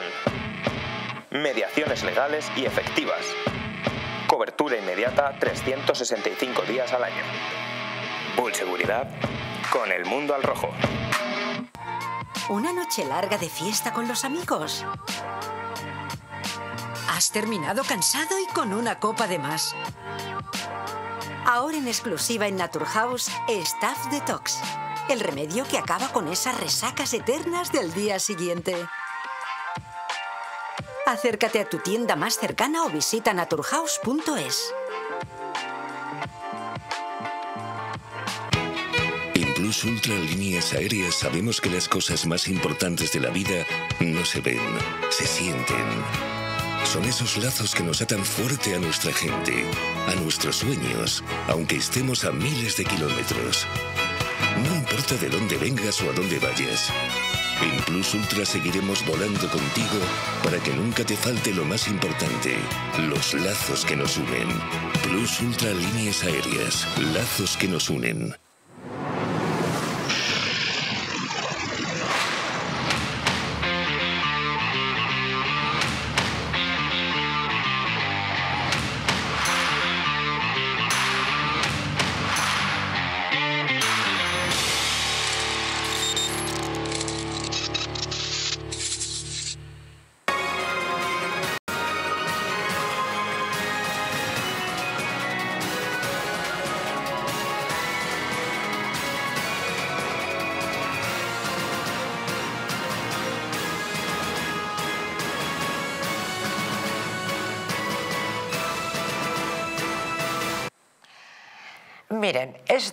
Aurora Boreal. Vamos a compartir con ustedes una noticia que nos, nos llega hasta el misterio del cano. Nadie sabe quién metió, oiga, 130 kilos de cocaína en el buque más emblemático de la Armada Española. La sentencia que impone condenas de hasta tres años de cárcel a siete tripulantes del buque escuela no resuelve quién permitió la entrada de la droga y sí, como dijeron algunos testimonios, el consumo y el tráfico de cocaína en el barco era algo habitual.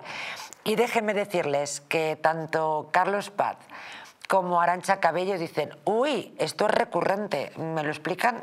A mí me suena ya una noticia, no me ha dado tiempo a, buscarla, pero, pero ya hace años. Pero o sea, está reciente. Otra cosa es que mm, se saque a pasear. 15 años que, no sé, hace bastante, tendría que mirarlo, pero que efectivamente ya se sospechaba y, eh, que había habido algún lío con el tema de las drogas, pero no por consumo, sino por eh, tráfico. Entonces, bueno, pues estas cosas, eh, otra cosa más que desprestigia un buque tan emblemático como el Cano, que está lleno de chavales que parece que, en fin, que, pasan ahí eso una temporada aprendiendo. Con eh, entusiasmo. Sí, y resulta que luego te enteras que, en fin, 180 kilos para consumo, no, ¿eh? Yo lo veo un poco exagerado, ¿eh? pero bueno, tampoco, tampoco tengo tomado yo la medida. Y, sí, hombre, es preocupante. Para dormir no es, o sea, terapéutico no va a ser. ¿eh? Y a mí sí me gustaría que, que, llegaran hasta el final, porque cuatro mataos no creo que hayan metido eso y que no se sepa. Pero siendo recurrente, habiendo sucedido antes eh, y siendo gravísimo por el hecho en sí, por que se utilice el buque insignia, que no deja de ser un, un escaparate de España, no pasa nada porque precisamente siendo recurrente luego se da la noticia pero luego se diluye y no hay responsabilidades ni nada parecido. Eso es lo grave, grave, grave. Es que la otra vez desapareció la noticia. O sea, así fue... No... Pues la vamos a perseguir. Y, luego ya... Se... y yo alguna vez lo, hemos comentado eh, pues, eh, en casa y tal, y hemos dicho, uy, pues yo cada vez que veo el cano me acuerdo de aquello, sí, sí, sí. Miren, la droga, eh, que ustedes se preguntarán cómo ha ido la cosa, no fue descubierta ni en Colombia ni en Estados Unidos, sino en España. La Guardia Civil estaba esperando a los marineros en el puerto gallego de Bueu, aunque los perros especializados de la Unidad Central Operativa no encontraron los fardos de cocaína hasta que el barco llegó a Cádiz. Kilos y kilos de droga escondidos en una zona de muy difícil acceso, en el pañol donde se guardan las velas del barco. Es que eso no lo hace uno o dos personas, primero por... Como dice Arancha, dos matados. Tiene que tener acceso a una, a una, zona muy concreta del barco, eh, tiene un peso, 180 kilos, has dicho, pues eso no se transporta en un bolsillo. Eh, ahí hay gente implicada. Y me temo muy mucho que merecería mucho la pena seguir la noticia porque no va a pasar absolutamente nada. Porque aquí en este país lo más grave y lo que nos va a llevar al abismo, lo que nos está llevando al abismo, es que no pasa nada nunca. Efectivamente, donde sí pasó fue en Barbate, recuerdan el pasado 9 de febrero eh, la pérdida de vidas de guardias civiles. Eh, en una situación absolutamente lamentable, les mandaron a luchar contra el narcotráfico y las narcolanchas en verdaderos botes que solamente les faltaba el patito, el flotador del patito y naturalmente los asesinaron, entre otras cosas por el miedo, y no voy a dejar de decirlo, el miedo que tiene la policía a disparar, porque cualquier país decente echa el alto a la narcolancha y una vez que no para,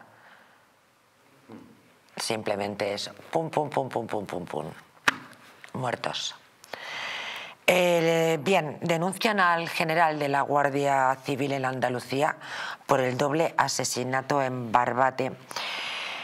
El escrito de la denuncia detalla que la embarcación de la Guardia Civil asignada para la intervención era insuficiente frente a las narcolanchas por ser estas significativamente más grandes y poderosas. Además, indica que los agentes asignados no estaban adecuadamente preparados ni equipados para una operación de este tipo, lo que aumentó el riesgo para sus vidas. Eh, en fin, señores, eh, pero claro, apuntan al jefe de la Guardia Civil en Andalucía que digo que esto a lo mejor hay que depurar eh, responsabilidades un poquito más arriba y no se le olvida a nadie que no dispararon porque no dejan que la policía dispare, porque les echan a la calle. Ahora, entre que te echen a la calle y que te vayan a, a buscar al cementerio, chico, dispara. Pues es que estábamos hablando antes de la sumisión y el vasallaje del gobierno Marruecos. Marruecos, y estoy hablando de la Casa Real marroquí, eh, tiene una implicación directa con la producción de hachís eh, marroquí. Base fundamental del desarrollo del país. Eh, había una unidad expresamente creada con unos muy, muy buenos resultados contra la lucha contra el narcotráfico y fue disuelta. no se dan los medios. No es que seamos un país tercermundista y vayamos con unos medios eh, inapropiados. Es que intencionadamente no se quiere luchar contra el narcotráfico, como intencionadamente no se quiere luchar contra la inmigración ilegal, como intencionadamente están sucediendo cosas en este país eh, gravísimas que no pasa absolutamente nada, como no se quiere luchar contra la corrupción. Y estamos hablando de casos de corrupción todos los días, porque no se quiere luchar. La corrupción es un castigo divino por el cual no podamos defendernos. No, la inmigración ilegal eh, tenemos que soportarla mm, por designio divino. Tampoco. El narcotráfico se puede luchar. Sabemos quién está detrás, por dónde vienen, qué hacen, pero no se quiere dotar a la policía de la Guardia Civil, crear un grupo específico para la lucha, ni nada parecido. Con lo cual las tragedias luego suceden, evidentemente. Pues eh, a mí lo que me entristece de esto es que mandaron a, dos guardias civiles a morir. Pero a morir. Y, no solamente ha sido en este caso, es que muy a menudo te das cuenta de que mm, el gobierno ha decidido que, pues que tiene a su disposición, en este caso, los cuerpos y fuerzas de seguridad del Estado, igual que los manda ojo, también hay que decir que los ha mandado a gasear a gente a Ferraz y que obedecen, ¿eh? O sea que... Eh, pero bueno, yo a lo que voy es que eh, están en unas condiciones lamentables y los están utilizando para hacer creer porque esta es la sensación, que se hace algo cuando no se está haciendo nada. Y como ha dicho Carlos, es que es dramático que la unidad que estaba luchando contra el narcotráfico y que le estaba haciendo mucha pupa a Marruecos, de repente se disuelve con unas acusaciones falsas y tal. Y luego, los mandan a, que no disparen. ¿A quién protegen? ¿Están protegiendo a los delincuentes? Porque da la sensación de que este gobierno no trabaja para los ciudadanos, sino que está protegiendo pues o al narco, bueno, y los narcos que, que se van porque les dan permisos. Bueno, la audiencia de Málaga decide, ah, no, no, no, no era, era un narco, ¿no? El, marroquí aquel también, que, bueno, pues que al pobre hombre este que se defendió en su casa, resulta que lo han tenido en prisión preventiva, luego le han condenado a no sé cuántos años y resulta que un, narcotraficante... el, mundo al revés. Un, mafioso y resulta que esos sí están protegidos. Entonces yo sí tengo la sensación de que este gobierno lo que está haciendo es eh, dejar desprotegidos a aquellos que nos tienen que proteger a nosotros y por eso la delincuencia acampa a sus anchas. Nosotros somos los desprotegidos. Y el tema del Guardia Civil, que sea el general de la Guardia Civil, no lo sé, porque yo no me sé el procedimiento para poder mandar a estos de la Guardia a morir. Civil en Andalucía. Pero alguna razón tendrán, porque conocerán el procedimiento, quién los envió, quién no los envió, y a veces también se, se incluyen dentro de las denuncias a personas para que cuenten realmente la realidad de los hechos, porque tengan conocimiento de cuáles son las condiciones en las que están. Pero bueno, yo creo que la justicia, si es una denuncia, pues sabrá si está bien conformada o no, no lo sé. Oye, yo también digo que la, última esperanza eh, son aquellos funcionarios que están ejerciendo de resistencia y que yo creo que tendríamos que estar todos los días apoyándolos porque hay mucha gente que todavía, todavía está resistiendo dentro de las instituciones. La verdad es que la que se nos viene no es moco de pavo, señores, entiendo que todo lo que compartimos hoy, bueno, hoy todos los días, parece surrealista, pero realmente es cierto y sucede eh, en España. Un consejito glamuroso, interesantísimo, y les vamos a hablar de un libro, es que el título a mí es que me parece que al estado actual le va como anillo al dedo. Eh, el político en minúsculas. ¿Qué les parece? Súper interesante. Ya verán, os, os va a gustar, chicos. Un lugar mágico en el corazón de la Costa del Sol. En primera línea de mar, situado en un oasis de armonía, tranquilidad, enfocado en la salud y bienestar de nuestros huéspedes. Desconecta del estrés y la monotonía del día a día Estancias con programas exclusivos y personalizados de salud, rejuvenecimiento y control del peso. Elegancia y bienestar junto al mar sin renunciar a la actividad y la vida saludable. Descubre las Dunas Hotel Health and Spa, el más exclusivo de toda la Costa del Sol.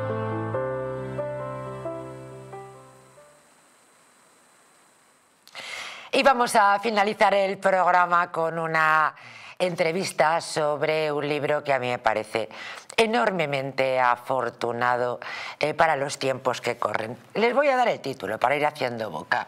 Un político en minúsculas. Imagínense, contempla las reflexiones e ideas acerca de dos temas sobre los que hay cierta confusión en la sociedad. Miren, por un lado, ¿en qué consiste exactamente la profesión de político? Tela, ¿eh? Y por otro lado, nos da las claves para ponderar la llamada gestión pública. Con nosotros está su, autor, Alberto Serrano. Muy buenas noches, Alberto, ¿cómo estás? Buenas noches, María José. Muchísimas gracias por invitarme. Todo lo contrario, el agradecimiento es nuestro. Alberto es profesor, es abogado, es escritor y también tengo que decirles, porque es importantísimo para entender este libro que ha desarrollado una interesantísima función pública como concejal en el Ayuntamiento de Madrid entre los años 2019 eh, y 2023, que se pueden ustedes llegar a imaginar la experiencia tremenda durante aquellos años en el Ayuntamiento de Madrid. ¿No es así? Muchas gracias, María José. Efectivamente, por completar lo que comentas, eh, al margen de eso, yo soy empleado público de hace muchos años por oposición y he sido, tenido el privilegio de ser el concejal de los distritos de Latina y Hortaleza, que eran dos de los más, distritos más grandes. más grandes, ¿verdad? Que más personas. Y razón por la cual se me decía de cachondeo que yo era el vicealcalde de Madrid, porque era el concejal que más vecinos tenía el honor de servir. Casi medio millón de personas. Con el permiso de la entonces. Con la que eh, permiso de la que de Jure era como tal. ¿Te acuerdas? De compañía de partido Begoña Villacís. Efectivamente, hay que decir que fue concejal en el Ayuntamiento de Madrid, nuestro invitado entre 2019 y 2023 por el Partido Ciudadanos. Bueno, eh, la verdad es que eh, estos dos conceptos del libro, por una parte, intentar explicar en qué consiste exactamente la mm, la profesión de político ya me parece de enorme envergadura, pero este otro aspecto fundamental que es sentar las bases de, la, de los recursos y de la gestión pública me parece un trabajo inabordable. Me parece que había, hay dos cosas que desde mi experiencia como amateur de la política, estando cuatro años. Amateur con cuatro años y en los momentos complicadísimos. Sí, luego si quieres hablamos, hablamos de ese periodo, pero yo creo que la gente no sabe a qué se dedican los políticos. No saben qué consiste la actividad a, veces sí, de la política. A veces sí sabemos a lo que se dedican y no siempre es la función pública. Perdón, disculpen. Y entonces eh, yo lo que he pretendido es eh, un poco describir qué es lo que es la esencia de la política, cómo ha evolucionado esa esencia de la política. La esencia de la política, desde tiempos inmemoriales, es tomar decisiones en beneficio del común. Así podríamos definir a un político. Eh, estamos en un programa como en otros en los cuales la crítica a la la casta política es noche sí, noche también y desde luego no es por un deseo nuestro, sino porque la actualidad así nos obliga a ello. Eh, sería muy interesante saber exactamente eh, qué tiene que hacer un político eh, para ser un político como Dios manda? Es una pregunta muy naif. Como comentaba, la esencia de la política es esa, la que estamos todos de acuerdo, pero la política ha evolucionado. Y la política actual mm, consiste en promocionar tu marca. la marca personal, la marca empresarial. Tu marca de partido, tu mm. marca de partido. Y eso es la actividad principal eh, de la actividad política hoy en día, tal como yo he podido apreciar. Pues ha, todo esto lo ha cambiado ostensiblemente entonces, ¿no? Mm, sí, yo esto lo cuento desde las experiencias que he tenido, mm, lo que yo trato de hacer, lo que yo me encuentro, lo que se me exige. A partir de aquí describo lo que es el día a día del político, que es muy distinto de un trabajo convencional, las cargas y responsabilidades que tiene la profesión, también los privilegios que tiene la posesión. Hablo del empresario de los partidos políticos, que es el partido político, precisamente. El jefe de los políticos no es la administración del Estado, el ayuntamiento, es su partido. Y cuento, eh, bueno, pues eh, mm, todo aquello eh, que quiero estar todo un poco en la línea que comentaban de su programa, mm, pues llegar a la conclusión de que eso que se llama pues la voluntad política, realmente no soluciona los problemas de los ciudadanos. Lo que lo soluciona los problemas de, los ciudadanos son el trabajo diario de cientos y cientos de, empleados públicos. Eso, por un lado, lo reflejo en el libro, todo ello contado con anécdotas personales que yo he tenido, que yo creo que son pintorescas y de lo Hombre, más permita, Permíteme eh, que me comente a nuestros telespectadores algunas de ellas, como la, la imagínense, de, entre 2019 y 2023 lo que sucedió en España, lo que sucedió en, Madrid, la Filomena, el Palacio de Hielo, recuerdan ustedes los contratos de emergencia, de los que por cierto tanto estamos hablando ahora en la actualidad, el reparto de ayuda humanitaria eh, y otros temas eh, que están ampliamente tratados en los medios de comunicación, pero que por las circunstancias verdad acotadas en el tiempo, nuestro invitado tuvo la oportunidad de vivir en primera persona en el Ayuntamiento de Madrid. La gestión eh, pública de un ayuntamiento siempre se ha dicho que es más cercana al ciudadano que la mm, función pública estatal. ¿no? Eh, no sé si has podido... Hombre, yo estuve pues, muy a pie de calle en la pandemia eh, porque yo fui quien abrió el Palacio de Hielo. Qué, una resolución qué mía. Sí, mira, te comento cómo fue, por si alguien no lo sabe.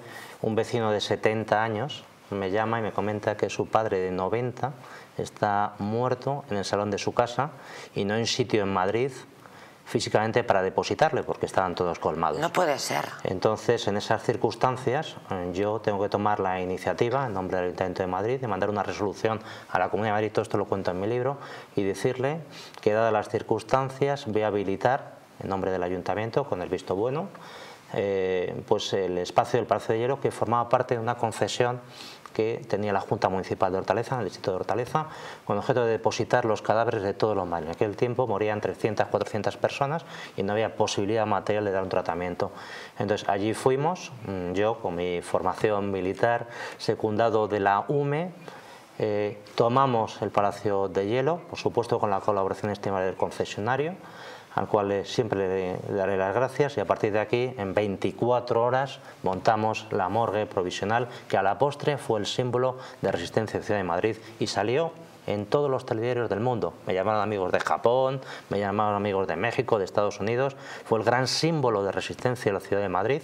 Pues tuve yo el privilegio de poder abrirlo. Y recuerdo cuando se cerró el Palacio de Hielo, tenemos una ceremonia de despedida muy bonita, eh, un general ahí presente, comunicó pues, a la ministra, a las diferentes autoridades, esto está muy bien, este es el señor que se ha dejado eh, la piel por todo esto, refiriéndose a mí, con lo cual yo encantado. Al margen de eso, tuve también el privilegio de montar pues quizá el reparto de ayuda humanitaria eh, más importante que se dio en España.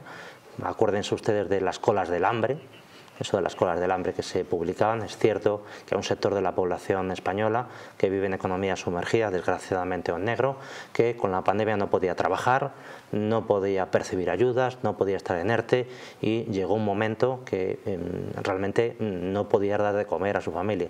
En esas circunstancias se produjeron hurtos famélicos en la ciudad de Madrid, eso quiere decir que la gente robaba para comer, es inconcebible, en Europa en los últimos 50, 70 años, y hubo que habilitar un servicio de ultraemergencia abriendo cocinas en diferentes colegios, gracias a la inestimable colaboración de más de mil voluntarios y diferentes servicios que cuento en mi libro. Y cuanto a los contratos de emergencia, que también están de moda, también te comento que yo tuve el privilegio también de ser el primero, el primero que hizo un contrato de emergencia prácticamente a los dos días de la mm, pandemia. Los contratos de emergencia yo ya advertí de los riesgos que tenían, posteriormente se ha confirmado eh, esos riesgos eh, y, y, bueno, mm, tengo que decir que hice pues, más de 15, 16 contratos de emergencias y todos pasaron los, los filtros correspondientes. Les hacemos una propuesta interesantísima con este libro que se puede convertir para todos ustedes, no solamente en una lectura de enorme interés por estos aspectos fundamentales que les hablaba, al inicio, ¿no? en qué consiste realmente la profesión de político y también las claves de, gestión, ¿no? de, de, la llamada eh, gestión pública. Pero todo esto aderezado eh, con un buen número de experiencias muy personales del autor que ha vivido, pues como nos está relatando, en primera persona. Es un libro que les propone también una regresión en el tiempo a momentos que hemos vivido en España, en esta ciudad, que les hará tener una lectura absolutamente trepidante. Muchísimas gracias, Alberto Serrano, por estar con nosotros. El placer ha sido Ha sido un enorme placer. Pues tomen muy buena nota de esta recomendación. Eh, también tomen buena nota de las recomendaciones que les hacemos desde el programa.